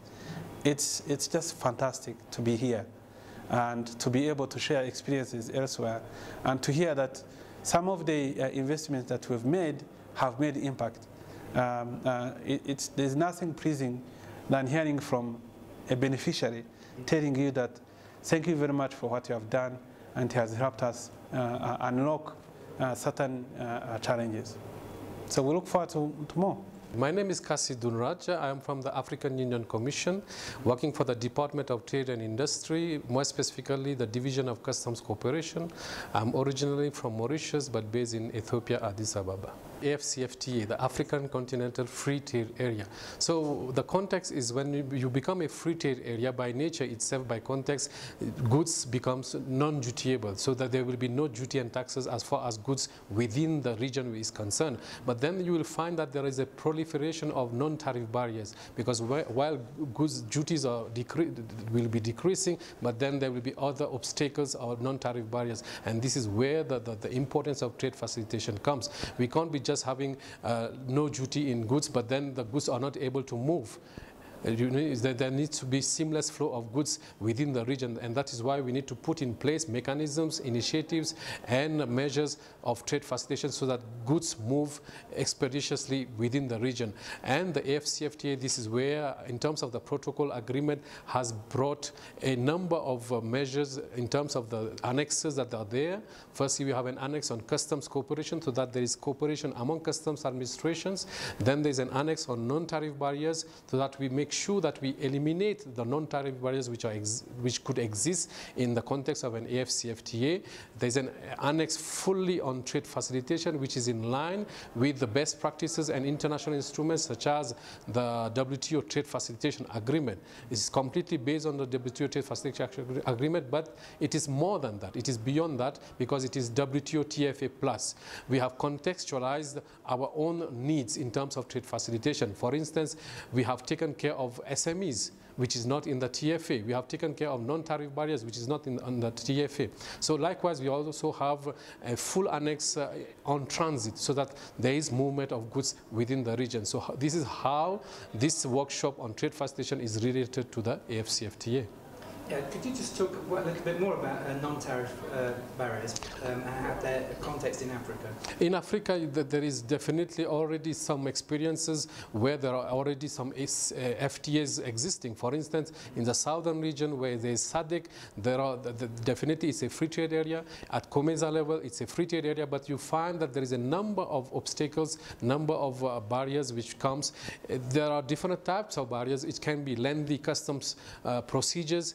When it comes to transport, you have roadblocks, weighbridges. When it comes to standards, which are some, sometimes very negative standards or which are too burdensome. So these kind of barriers, they exist in the region. And that's why at the level of SADC, EAC, and also uh, COMESA, they have tried to establish what we call an online mecha mechanism. It's a tripartite online mechanism where anyone who is feel, uh, feeling aggrieved of any obstacle or any barriers, they can just register a complaint with regards to any border measures which is kind of uh, burdensome or not kind of uh, helping the trade. So they just register a complaint and then uh, it is being resolved either at national level or regional level.